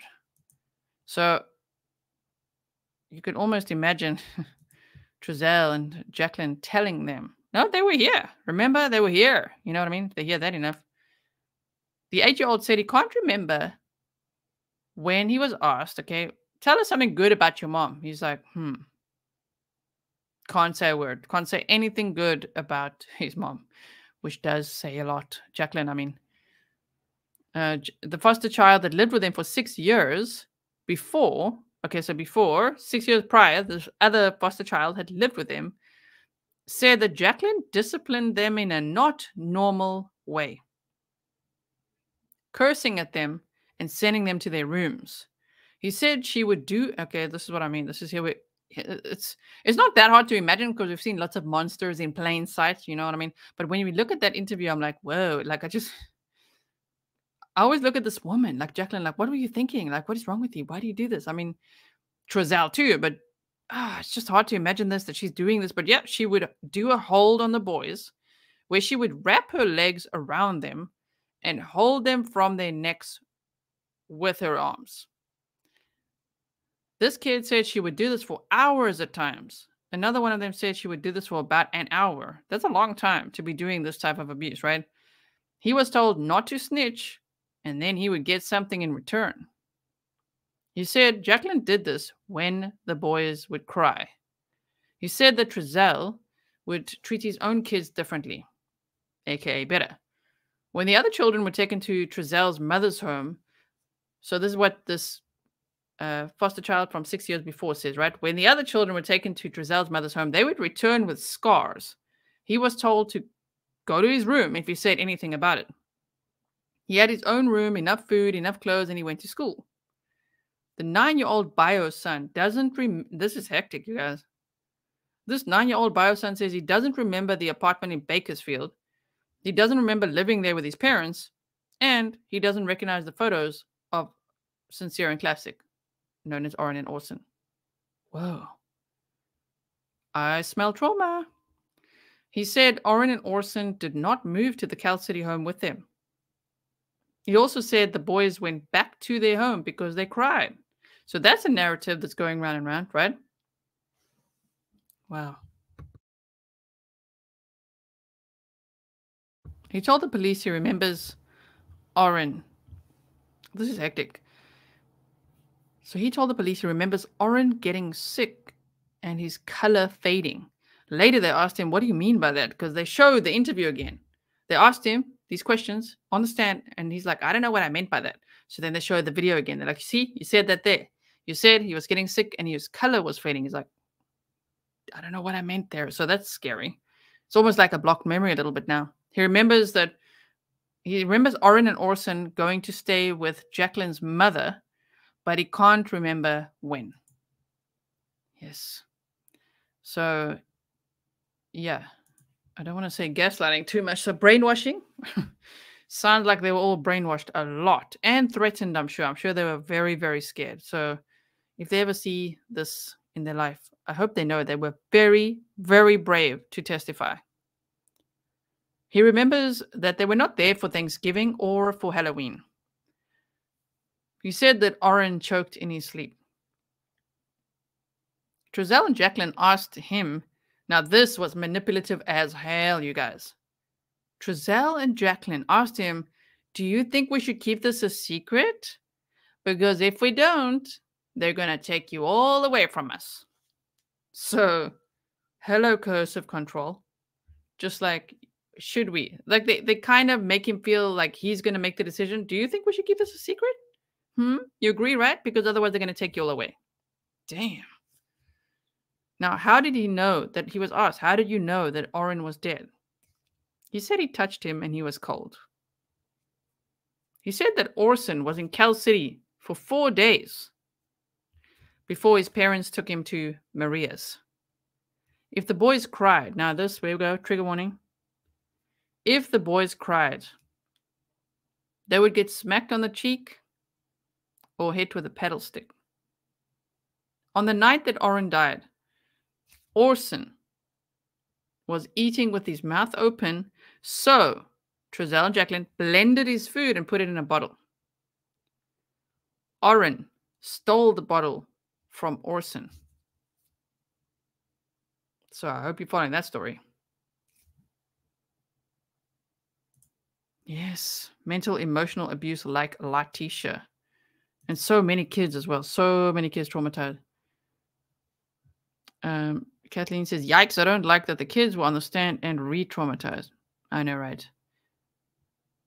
Jacqueline is the adoptive mother, the one that's also being charged with murder. Trezell and Jacqueline West. Okay, so I'm just checking that everyone's okay. yeah, Pernil says major trigger bunny. That's why I'm just checking. So that was hectic. On the night that Orrin died, Orson was eating with his mouth open, so his parents blended his food and put it in a bottle, but Orrin stole the bottle from Orson. So meaning they had that night intended to kill Orson? When his parents saw Orrin, oh wow. When his parents saw, adoptive parents, saw Orrin steal Orson's bottle, they instructed him to punch him. When they moved, Orson was crying. Remember, he was there then, according to the kids here, for four days. So Orson was crying. His parents told the other kids it was just because they were in a new place. Okay, wow. He said that he saw on a tablet, so the person on the stand, the, the child on the stand, right? This is so hectic. He saw on a tablet that Orrin and Orson were missing. And he realized that his dad had lied about Orrin because he had seen him die. He had touched his body. He said it was cold. That he remembers, but he's like, I see my dad on the news, and he's saying that Orrin and Orson were in the backyard playing and that both of them walked out. So he was like, whoa, he's lying. He didn't know why Orson was missing too. It's a lot, right? Mm-hmm. Day 16. Wanda. Who's Wanda? Trezell's mother. Wanda said that throughout the Rona time, the family would drive by and say hi. Now, to me, a lot of what Wanda says, I'm like, huh, it's interesting. She greeted the four older boys because, you know, the family's driving by. So she greets the four older boys, but she was told the two youngest were in the van. So the whole time, according to her story, she says Trezell and Jacqueline are saying they're in the back, way back in the van. But she sees the other four, but not Cinsere and Classic. Interesting. Wanda did not see Orrin and Orson on September 19th, 2020, which was moving day. She thought that they were staying with Maria Martinez. Okay, which is Jacqueline's mother. Now, this one, I'm like, eh, I don't know about this, man. I feel like you knew more than you're saying, right? She got robes for the entire family for Christmas, but couldn't find sizes for Orrin and Orson so she asked Trezell to get them matching PJs. Look, that might be true, okay? But we also weren't born yesterday. You, you bought everybody matching robes? You bought everybody robes, but you couldn't find robes or sizes for Cinsere and Classic. The two boys who now we know were no longer alive that makes me worried right there. But anyway, just like, do you know more? You're not telling us everything, lady. Tell us. December 16, 2020, Wanda asked for a photo of the family in their robes by the fireplace, but never got it. And she says because the boys were already missing, which I find interesting because they were only reported missing on December 21st. Right?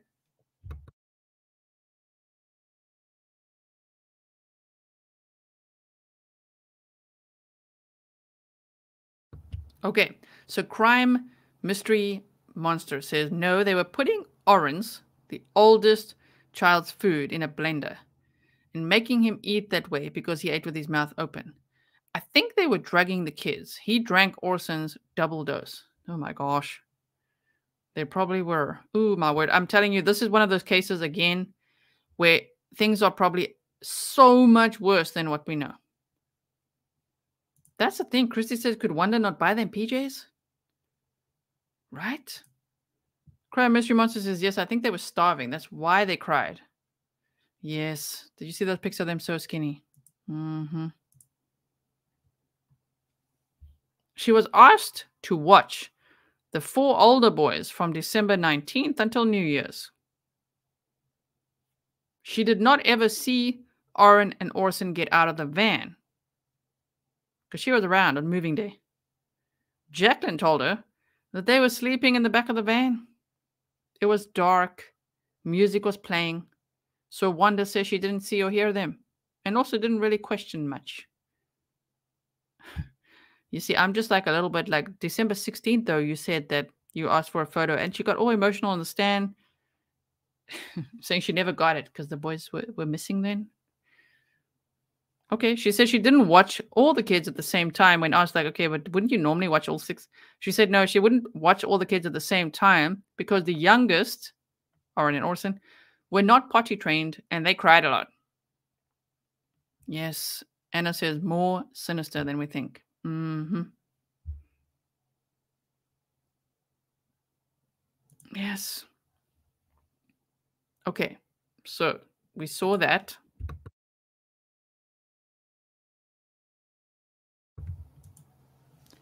One of the children was shown on a video talking to a social worker, Sonia Barton, saying that Orrin and Orson would get spanked until they shut up because they cried a lot, right? From all the abuse and trauma, and probably from being hungry. Yes. This uh, one, this child on the video said they bleed, they get blood on their butts, they get hit hard with the metal part of a belt. Day 17. Alexander Calaveras testified via Zoom. It was reported that the boys were spotted at his home in Arlington, Texas, but they were his own boys. Bakersfield PD Sergeant Chad Garrett said that Trezell and Jacqueline had at least five phones. Video of a interview from July 2021 with Jacqueline West was shown. Now, is Auntie TT Letecia? Because this is made up crap again. She said Aunt TT, apparently a relative of the bio dad of the boys, would sometimes be at visitation and would watch the boys. So that's her pretending like visitation was still happening. So she made up this Aunt TT, is what I'm gathering from everything I heard. I'm like, this is a made up person, right? Is that Aunt TT Letecia? Wouldn't be surprised at this point. Jacqueline describes the boys as. Now, this is a weird description. She's like, Jacqueline describes the boys as super sweet and then super grumpy. Okay, projection. She said they love attention and playing with the kids. Interesting language because they are kids. But she probably means playing with her biological kids, right? Anita's like, five phones, nothing suspicious here. hmm Yes, and that's possible as well. Yes, the boys were both intellectually delayed and because of that received more state funds. It is possible that that happened. Yes. Hmm, Jacqueline, I wish we could see that whole video. Maybe one day we will. So, okay, we've got that. She says she had to change her phone number because the family wouldn't stop contacting her. Oh, is that for the and why the other five? You know, she got five numbers. On moving day, Jacqueline said she thought the boys were with her. And then she corrected herself and said, I should have said they were with me. Damn. Now, why they she was asked, why are there no new photos of them? She said because she's not used to taking photos of them because when they were fostered, they weren't allowed to. oh, she's full of excuses everywhere. Excuses everywhere. When asked why one of the boys said that Orrin died at the apartment, Jacqueline said he had a very active imagination and someone must be telling him things. Hernandez tells her that he's gathered a massive amount of information and it all leads back to you and Trezell. He tells her he knows Orrin and Orson were not at the California City home. He implores her to tell him what happened, whether there was an accident, whether Trezell West did something. Jacqueline West says what happened was very unfortunate, but she and her husband aren't to blame. We've heard that before, right? A call is played between Trezell, Jacqueline, and the kids. They are telling the kids, their own kids, right? Shame, you, you, you sound sad. Just remember, you don't have to say anything to anyone. That's how they're comforting the kids. Don't worry, don't be sad. You don't have to talk to the police. You don't have to say anything to anyone. And at this point, Trezell is emotional in the courtroom when they play this call. So he's feeling bad there for his own kids or what? I don't know, man. Wow. And then the prosecution rested their case. So that's the first 17 days of the trial. Okay, now let's hear the defense's opening statements. In different states, it happens in different ways. Sometimes it's the prosecutor's opening statements, then the defense immediately on the first day. But in this one, it was the prosecution's opening statements, and then they presented the whole case and rested their case. Then it was the defense's opening statements.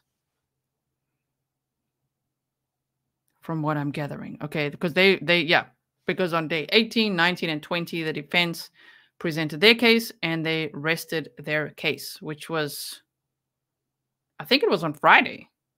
You know, it's recent. So tomorrow is supposed to be closing arguments. Okay, so let's play this.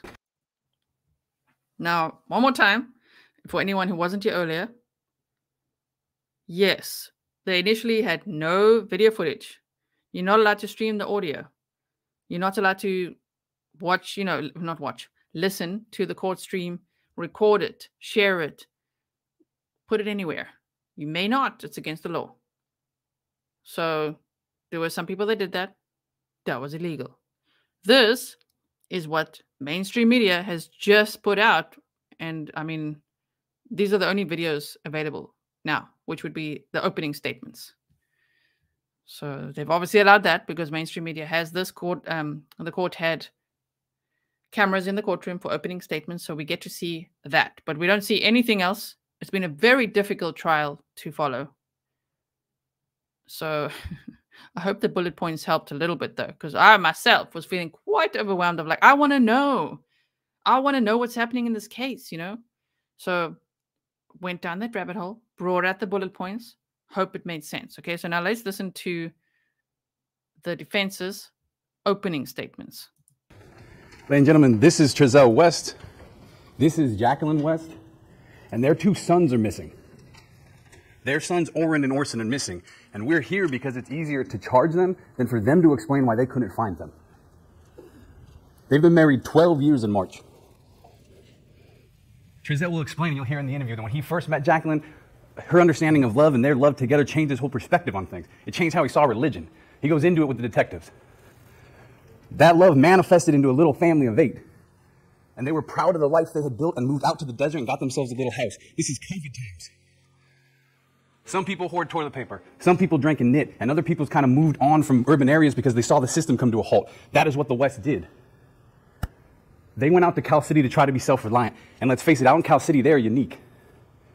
They are a biracial family of eight made up of couples of brothers that are also biracial. They are an artist and a producer who are trying to be self reliant out in Cal City, who homeschool their children, and yes, primarily make $4,000 a month to support that family of eight for taking care of children none of us were taking care of. And this is suspicious to Cal City. And you can see that from the start of this investigation. Just gonna pause for a second. Crime Mystery Monster says the defense, two witnesses. That is all they had. Dr. Napolitano tried to destroy the oldest child's testimony, which is why I didn't bullet point that. It's very hard to listen to that, just like pulling that apart. She has not done a child forensic interview in 17 years. And Anne Marie Chin says Trezell's defense went on the first day. Her lawyer presented after the defense. You mean after the prosecution rested, right? Thank you, Anne Marie Chin. This is all suspicious to them. And with uniqueness also comes oddness sometimes. And you can see in the interviews when they talk to Cal City, sometimes they say some odd things, but they are always, forthright. They are always sharing everything with Cal City PD because they want to be removed as suspects so they can find their boys. And sometimes they say some things that are true, but Cal City doesn't want to hear. In the spirit of openness, Jackie explains sometimes she forgets their anniversary. That's a Trezell thing. Trezell explains it is easier and more hygienic to sit down when he pees. That is the level of openness they are giving Cal City PD so they can check them off and find their kids. Oh no. I'm really trying not to snark at all. Do your job, bro. it's just a few things. Okay, I'm just going to leave it at that. They started adopting because they heard about brothers that get torn apart in the system. They didn't know family members could get separated in the system. And Trezell, working as a security guard, realizes he's all he's getting done is getting paid to stop homeless people from stealing food and decides, you know what, why don't I spend my time trying to help kids? And when he gets there, he starts to realize there's not a lot of males in the system, let alone males of color, let alone black males who are going to be fathers to black children in the system. He tells this to detectives. That is why he got involved. But he also explains to the detective that once you get involved after about 60 some odd kids come ripping in and out of your house, after a teenager puts hands on you in your own house, you start to feel different. You have to kind of compartmentalize. And Jacqueline says the same thing. Oh man. Okay, so just so you know, I did speed this up a bit, like all these videos we've seen. Otherwise, we will be at all night or afternoon. So it's at 1.1 speed, even though it actually seems it almost seems like 1.405, but it's 1.1 is what I set it at. And because of this, they love their children, but love that gets drugged through the system is a little bit different. Cal City doesn't like that. And they'll say it in the interview. And although they have no experience with adoption or fostering, they don't really like some of the answers they're getting. Trezell explains the reason why he got Orrin and Orson and why he was so proud of them is they were two little black boys just like him. And he was going to be a father to them, and he was going to raise them and be there for them. And then he's in his backyard and they go missing. And now he's sitting here on trial. Because they can't answer where the boys went. And they can't account for this. This is the video as explained in the opening. We know up in here this is not as good, the TV's gone, but my body would have blocked the TV. You're going to get a chance to see this. We'll go through this later. As, as we've heard, we're going to review all this footage. Up in here, we know that that is where Mr. Uh, West is doing yard work. I'll start this. You know, this is getting around the time, right? The mark when we know. And we know that Mr. West turns the lights on once they've realized the children are missing. I want you look right up here. See some, you see some light, something going on right here. And keep paying attention because eventually whatever's causing that is going to show itself. Because Mr. West says once he knows it happened all so fast, he's telling officers he thinks it might be three minutes, which they don't like. And yes, he was fiddling about there and really not looking for the kids. Standing under a tree, from what I remember. Wow. And yes, by the way, it's mirrored. This is flipped because I thought it just looked better when I did it. When I, I forgot about the screen thing. Sorry about that. Sorry about that.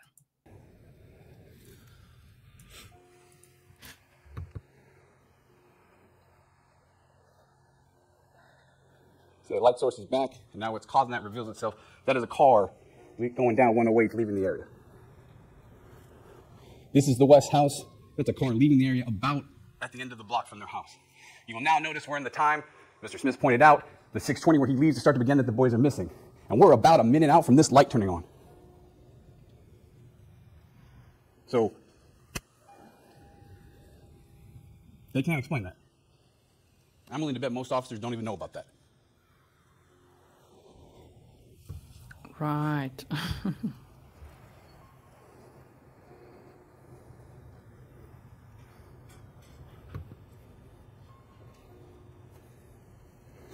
And you'll see in the interviews. I think the three minute estimate he gives them is too small to hear him talk about it.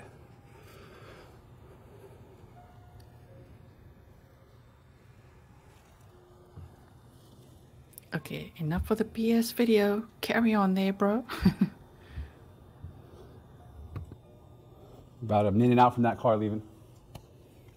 We know the light goes on when they started to realize that they are not in the yard and they are not inside.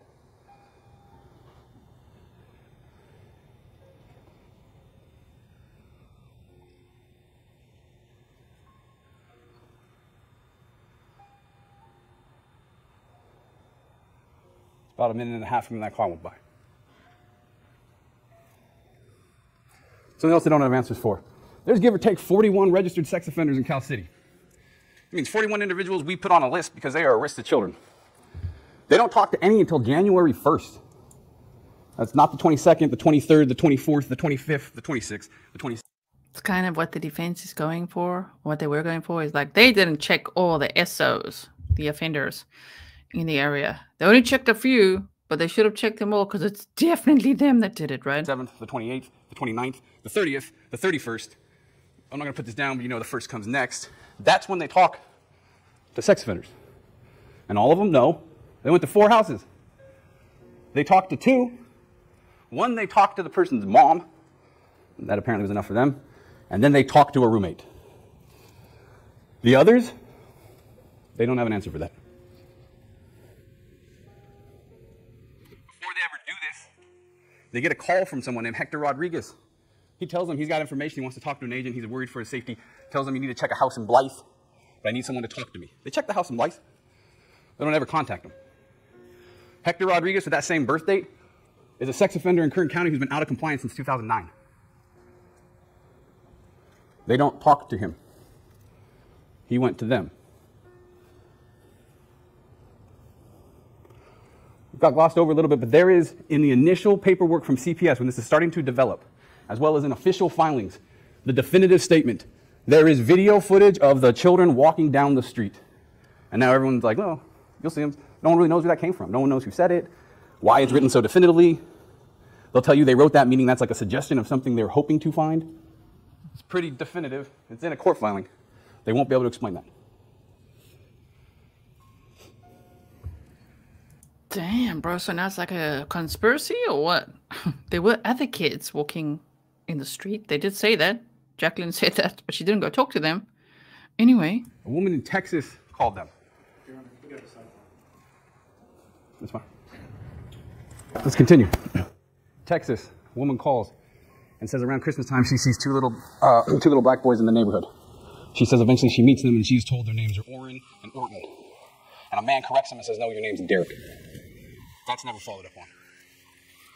Just also, they don't have answers how inconsistent some of this investigation is. There will be cops that will say there's no diapers, but there is diapers. There will be officers that say there's no chalk, well, there is chalk. There'll be officers that say there wasn't clothes, well, there is clothes. There'll be officers that say there was no toothbrushes, there were toothbrushes. There'll be some officers who rely on the fact that the dog didn't smell the boys specifically. You will hear from the dog handler that the dog smells cadavers or humans. The dogs that were there were not trained to smell individuals specifically. And she'll tell you when she was there the first night, the dog couldn't do much because the area had so many people walking around through the yard, it was contaminated. And she'll tell you the only job they gave her was follow the route that Trezell's van took to see if the dog finds body parts. That's the first night.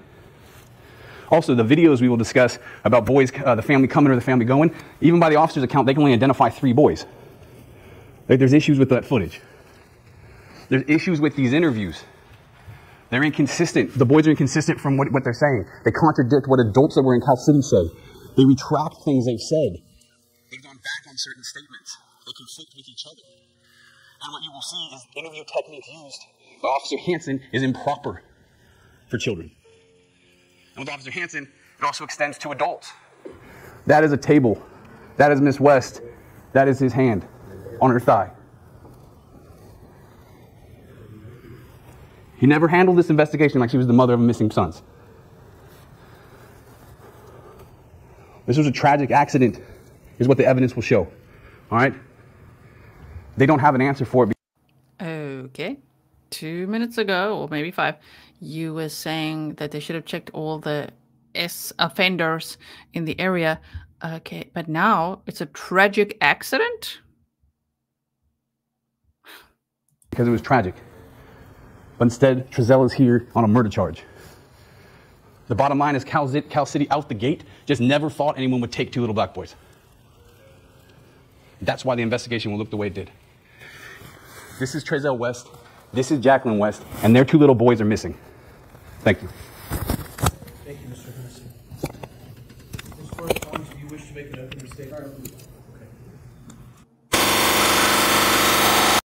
Damn, what happened to the sound there? Wait. Where's the lady? I know, right? Accident. Okay, wait one second. Let's do this. Doesn't the lady say things? Okay, wait. I don't know what happened to that sound there. Uh, I'll find something quickly. Also, while I do that, I just quickly want to show you something else here. Um, this is where this is shared from. Okay. Bakersfield, California. Thursday marked day 21 of the West trial. Much of the focus was on the judge reading instructions to the jury ahead of the closing arguments and jury deliberations.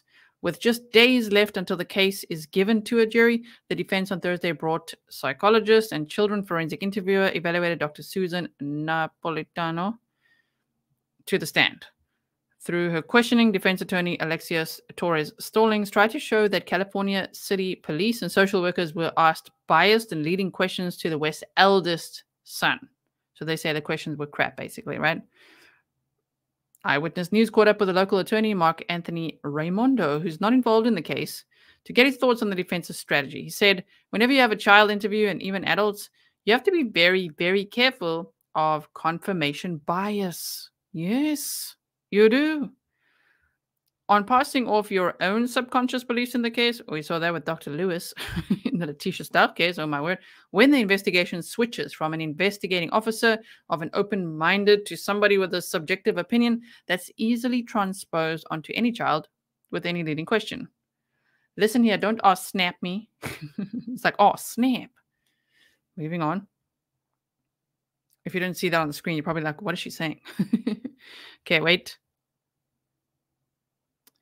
So they just they're just recapping everything we just went over, but they say this is what I'm trying to get to. Closing arguments will be on Tuesday at 9 a.m. Prosecutor Eric Smith will start. Both Jacqueline and Trezell's lead attorneys will give their closing arguments, and then Smith will end. After that will be jury deliberations. So that's we just did a, a big recap um, of the whole trial. I just want to find quickly this. I just want to bring this over. I'm going to bring this one, which would be the defense for Jacqueline West. That's the last thing we still have to see. And I'm also going to put this at 1.25 or so. Let's go. For her six children in her brand new house in California City when her two youngest were taken. Trezell, her husband of 13 years, was gathering wood for to light a fire for Jackie and their two youngest children when they were taken. There is there are no confessions and there is no forensic evidence. All we have is a story of a 10 year old boy, their boy, their eldest child. This is Jackie West, and this is Trezell West. And their two youngest children were taken. But their four oldest children ends is where our case begins. People versus the West this timeline is going to be imperative. Throughout the trial, we have talked about December 21st, December 22nd, December 23rd, 24th, 5th, 6th, and 28th. And it is no different in the defense's case that that timeline is going to be the timeline to evaluate. What you have heard at this point in time, which would have arguably been discussed in our in our timeline. It's amazing how there's no evidence of them being taken, but they're like, "Yep, they were taken." is the investigation that was going on during that time. But there was a separate investigation that was also occurring at the same time that, that, the, um, that law enforcement was investigating, and that was Child Protective Services. When we look at December 21st and we evaluate the date, the um, incidences that are the most relevant for the defense's case, we are looking specifically at where does the priming occur with Adrian. Priming is going to be a term that is going to be used by our child forensic psychologist expert, Dr. Susan Napolitano, who I will talk about in just a second. When we talk about December 21st, we've already heard testimony that there was a proof of life or a welfare check that was that was made at Wanda's residences when the boys were spending the night there. We have no information on how many officers were there, whether or not they were wearing uniforms, whether or not they were wearing patrol they were wearing patrol uniforms in patrol vehicles, spotlights, yelling. We have no information as to the proof of life call. But that essentially starts the priming. When we talk about December 21st, we have another and another entrance from another agency where CPS has now filed this emergency out referral. But remember what the, the referral was only for Orson and Orrin, general neglect, because there were four declarative statements that were made in that referral that they went missing, that law enforcement was there, and that there was a video of them walking down the street. And because of the information that was provided to the referral, this prompted a 10 day general neglect call. Not immediate, not three, not five, 10 days. When we move on to the next day, December 22nd, 2020, this is a rough outline of the events that occurred as they related to the children. At approximately 7 or 8 a.m., Officer Hanson came and interviewed the children. You have seen those interviews now of which most law enforcement have not seen. He was untrained. He had no formalized training, only on the job training to speak to children. Dr. Napolitano is going to talk about the fact that an individual should have some type of training when they speak with children in order to prevent any type of implantation that can then result in false allegations or false memory. Again, this is the beginning of the prime around 10 to 11 a.m., there is the FBI and Wanda have now taken the boys to the Jamison Center. We have this information as provided in Sonia Barton's first interview. She notes the time as she takes Adrian to go and interview him. Then we have a second interview of Adrian that was made almost two hours later, 1255, also by Miss Barton, that will be played now.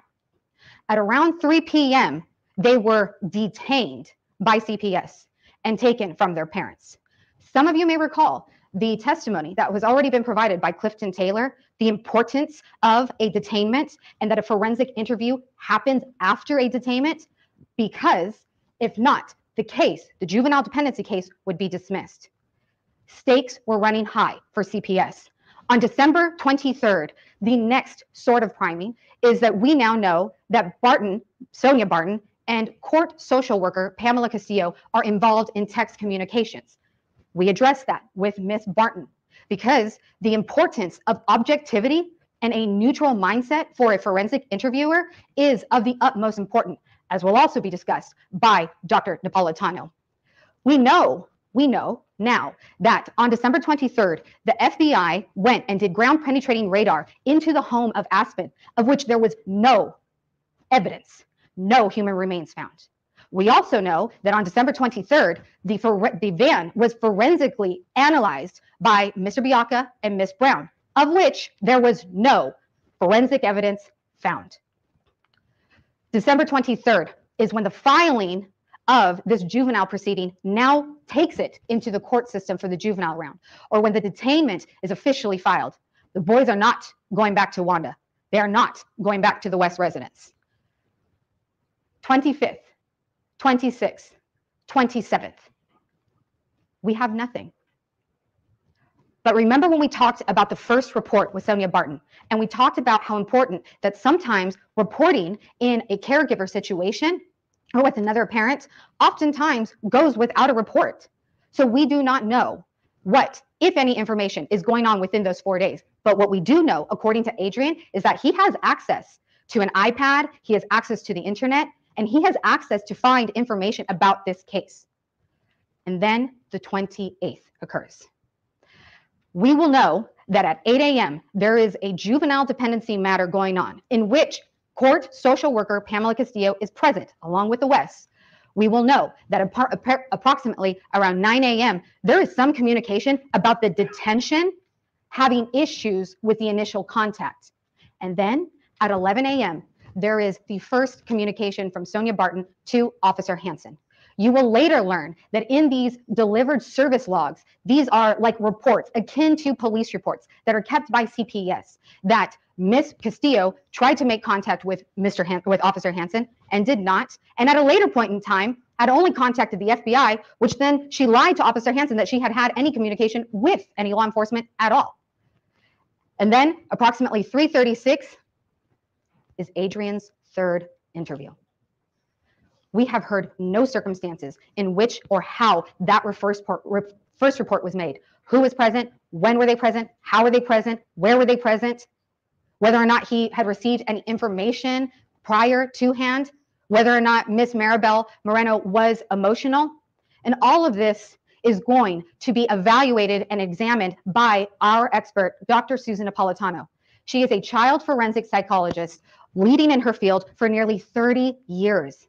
But unlike other experts, Dr. Napolo has, Napolitano has a unique perspective in that at one point in time, she too was in a forensic interviewer. Okay, I'm just going to pause for a second. Remember earlier, Crime Mystery Monster said to us uh, the defense, two witnesses, that's all they had. Dr. Napolitano tried to destroy the oldest child's testimony. She's not done a child forensic interview in 17 years. Mm-hmm. And now she examines forensic interviews at the bequest of the prosecution, the defense, the FBI, post criminal or post exoneration convictions. Her her uh, her background is exemplary. She has had a numerous numerous amount of time regarding training, peer review, and articles, written articles. When we talk about Dr. Napolitano, she is going to first talk about the history of forensic interviews. Why is it so important? Well, because the history of the forensic interview starts in the 1980s and the 1990s a part excuse me, with a slew of cases that were mass hysteria, child sex abuse cases, the McMartin cases.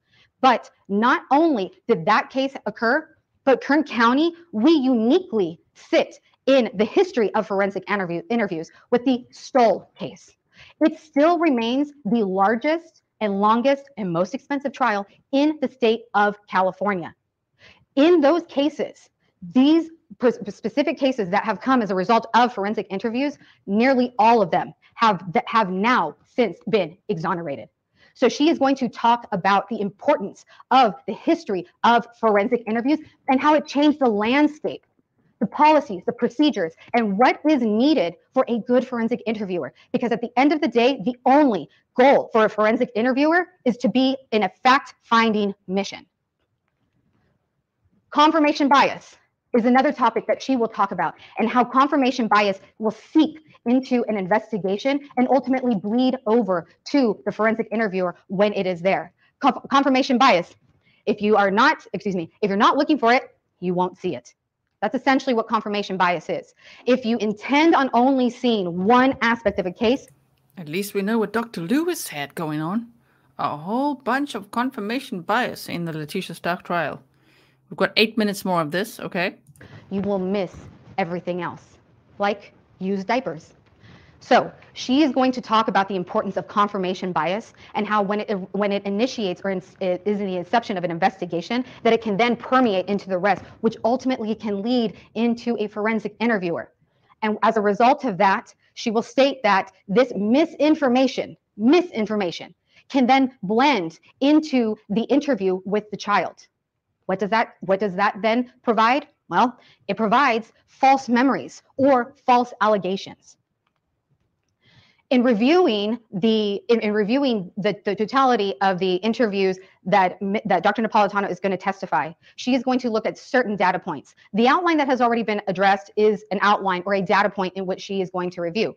But she is going to take into consideration Hanson's videos, as in one and two, she is also taking into consideration Adrian's first interview with Sonia Barton on the 22nd, as well as Sonia Barton's second interview.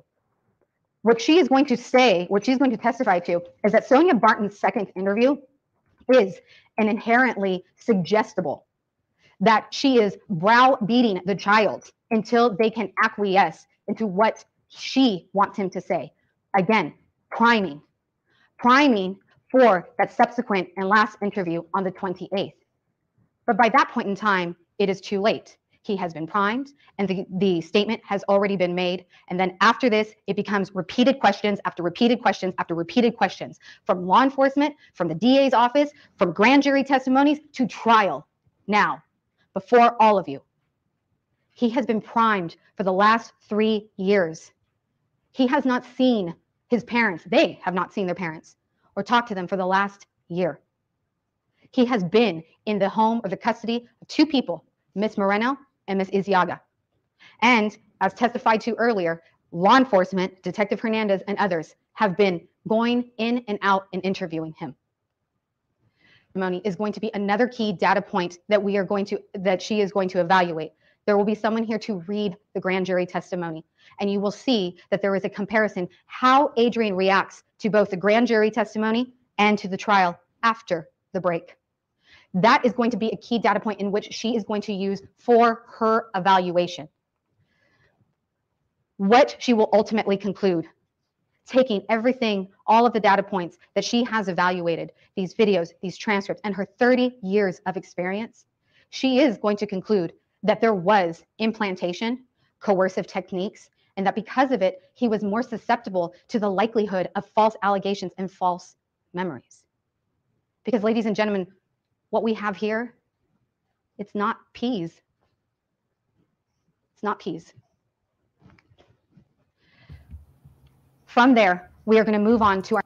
Just going to say all this implanting and false memories. It sounds more like what Trezell and uh, Jacqueline did. Okay, this is a comment I'm going to make. Our next expert, Christopher Armstrong. Christopher Armstrong comes before you also with 30 years experience. But his experience is unique in that he has an engineering background. He also, it, what he does for a living is a forensic accident reconstructionist. Now, I understand that some of you are thinking, where does this come into play? Well, it's going to come into play with the videos that you folks have been watching at 10649 Aspen Avenue. The videos that were acquired by Detective Hernandez on, excuse me, Detective Ryan on December 27th were then later enhanced by the FBI. Mr. Armstrong just took the videos and enhanced them a little bit more. He also was able to enhance, zoom, and take a still of December 19th, 2020. The video in which Detective Ryan says there's only two, two uh, adult individuals and four children going into the car. But when you look, and you will be able to see it on the large screen TV, but when you look at the still image that is going to be provided to you, it is apparent that there is an individual carrying something or someone, of which none of this was done by the FBI or by law enforcement.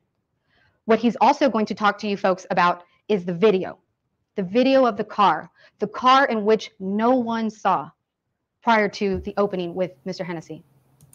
Got two and a half more minutes. Just remember, I've sped this up to 1.25 speed, okay? So, yes, very passionate attorney.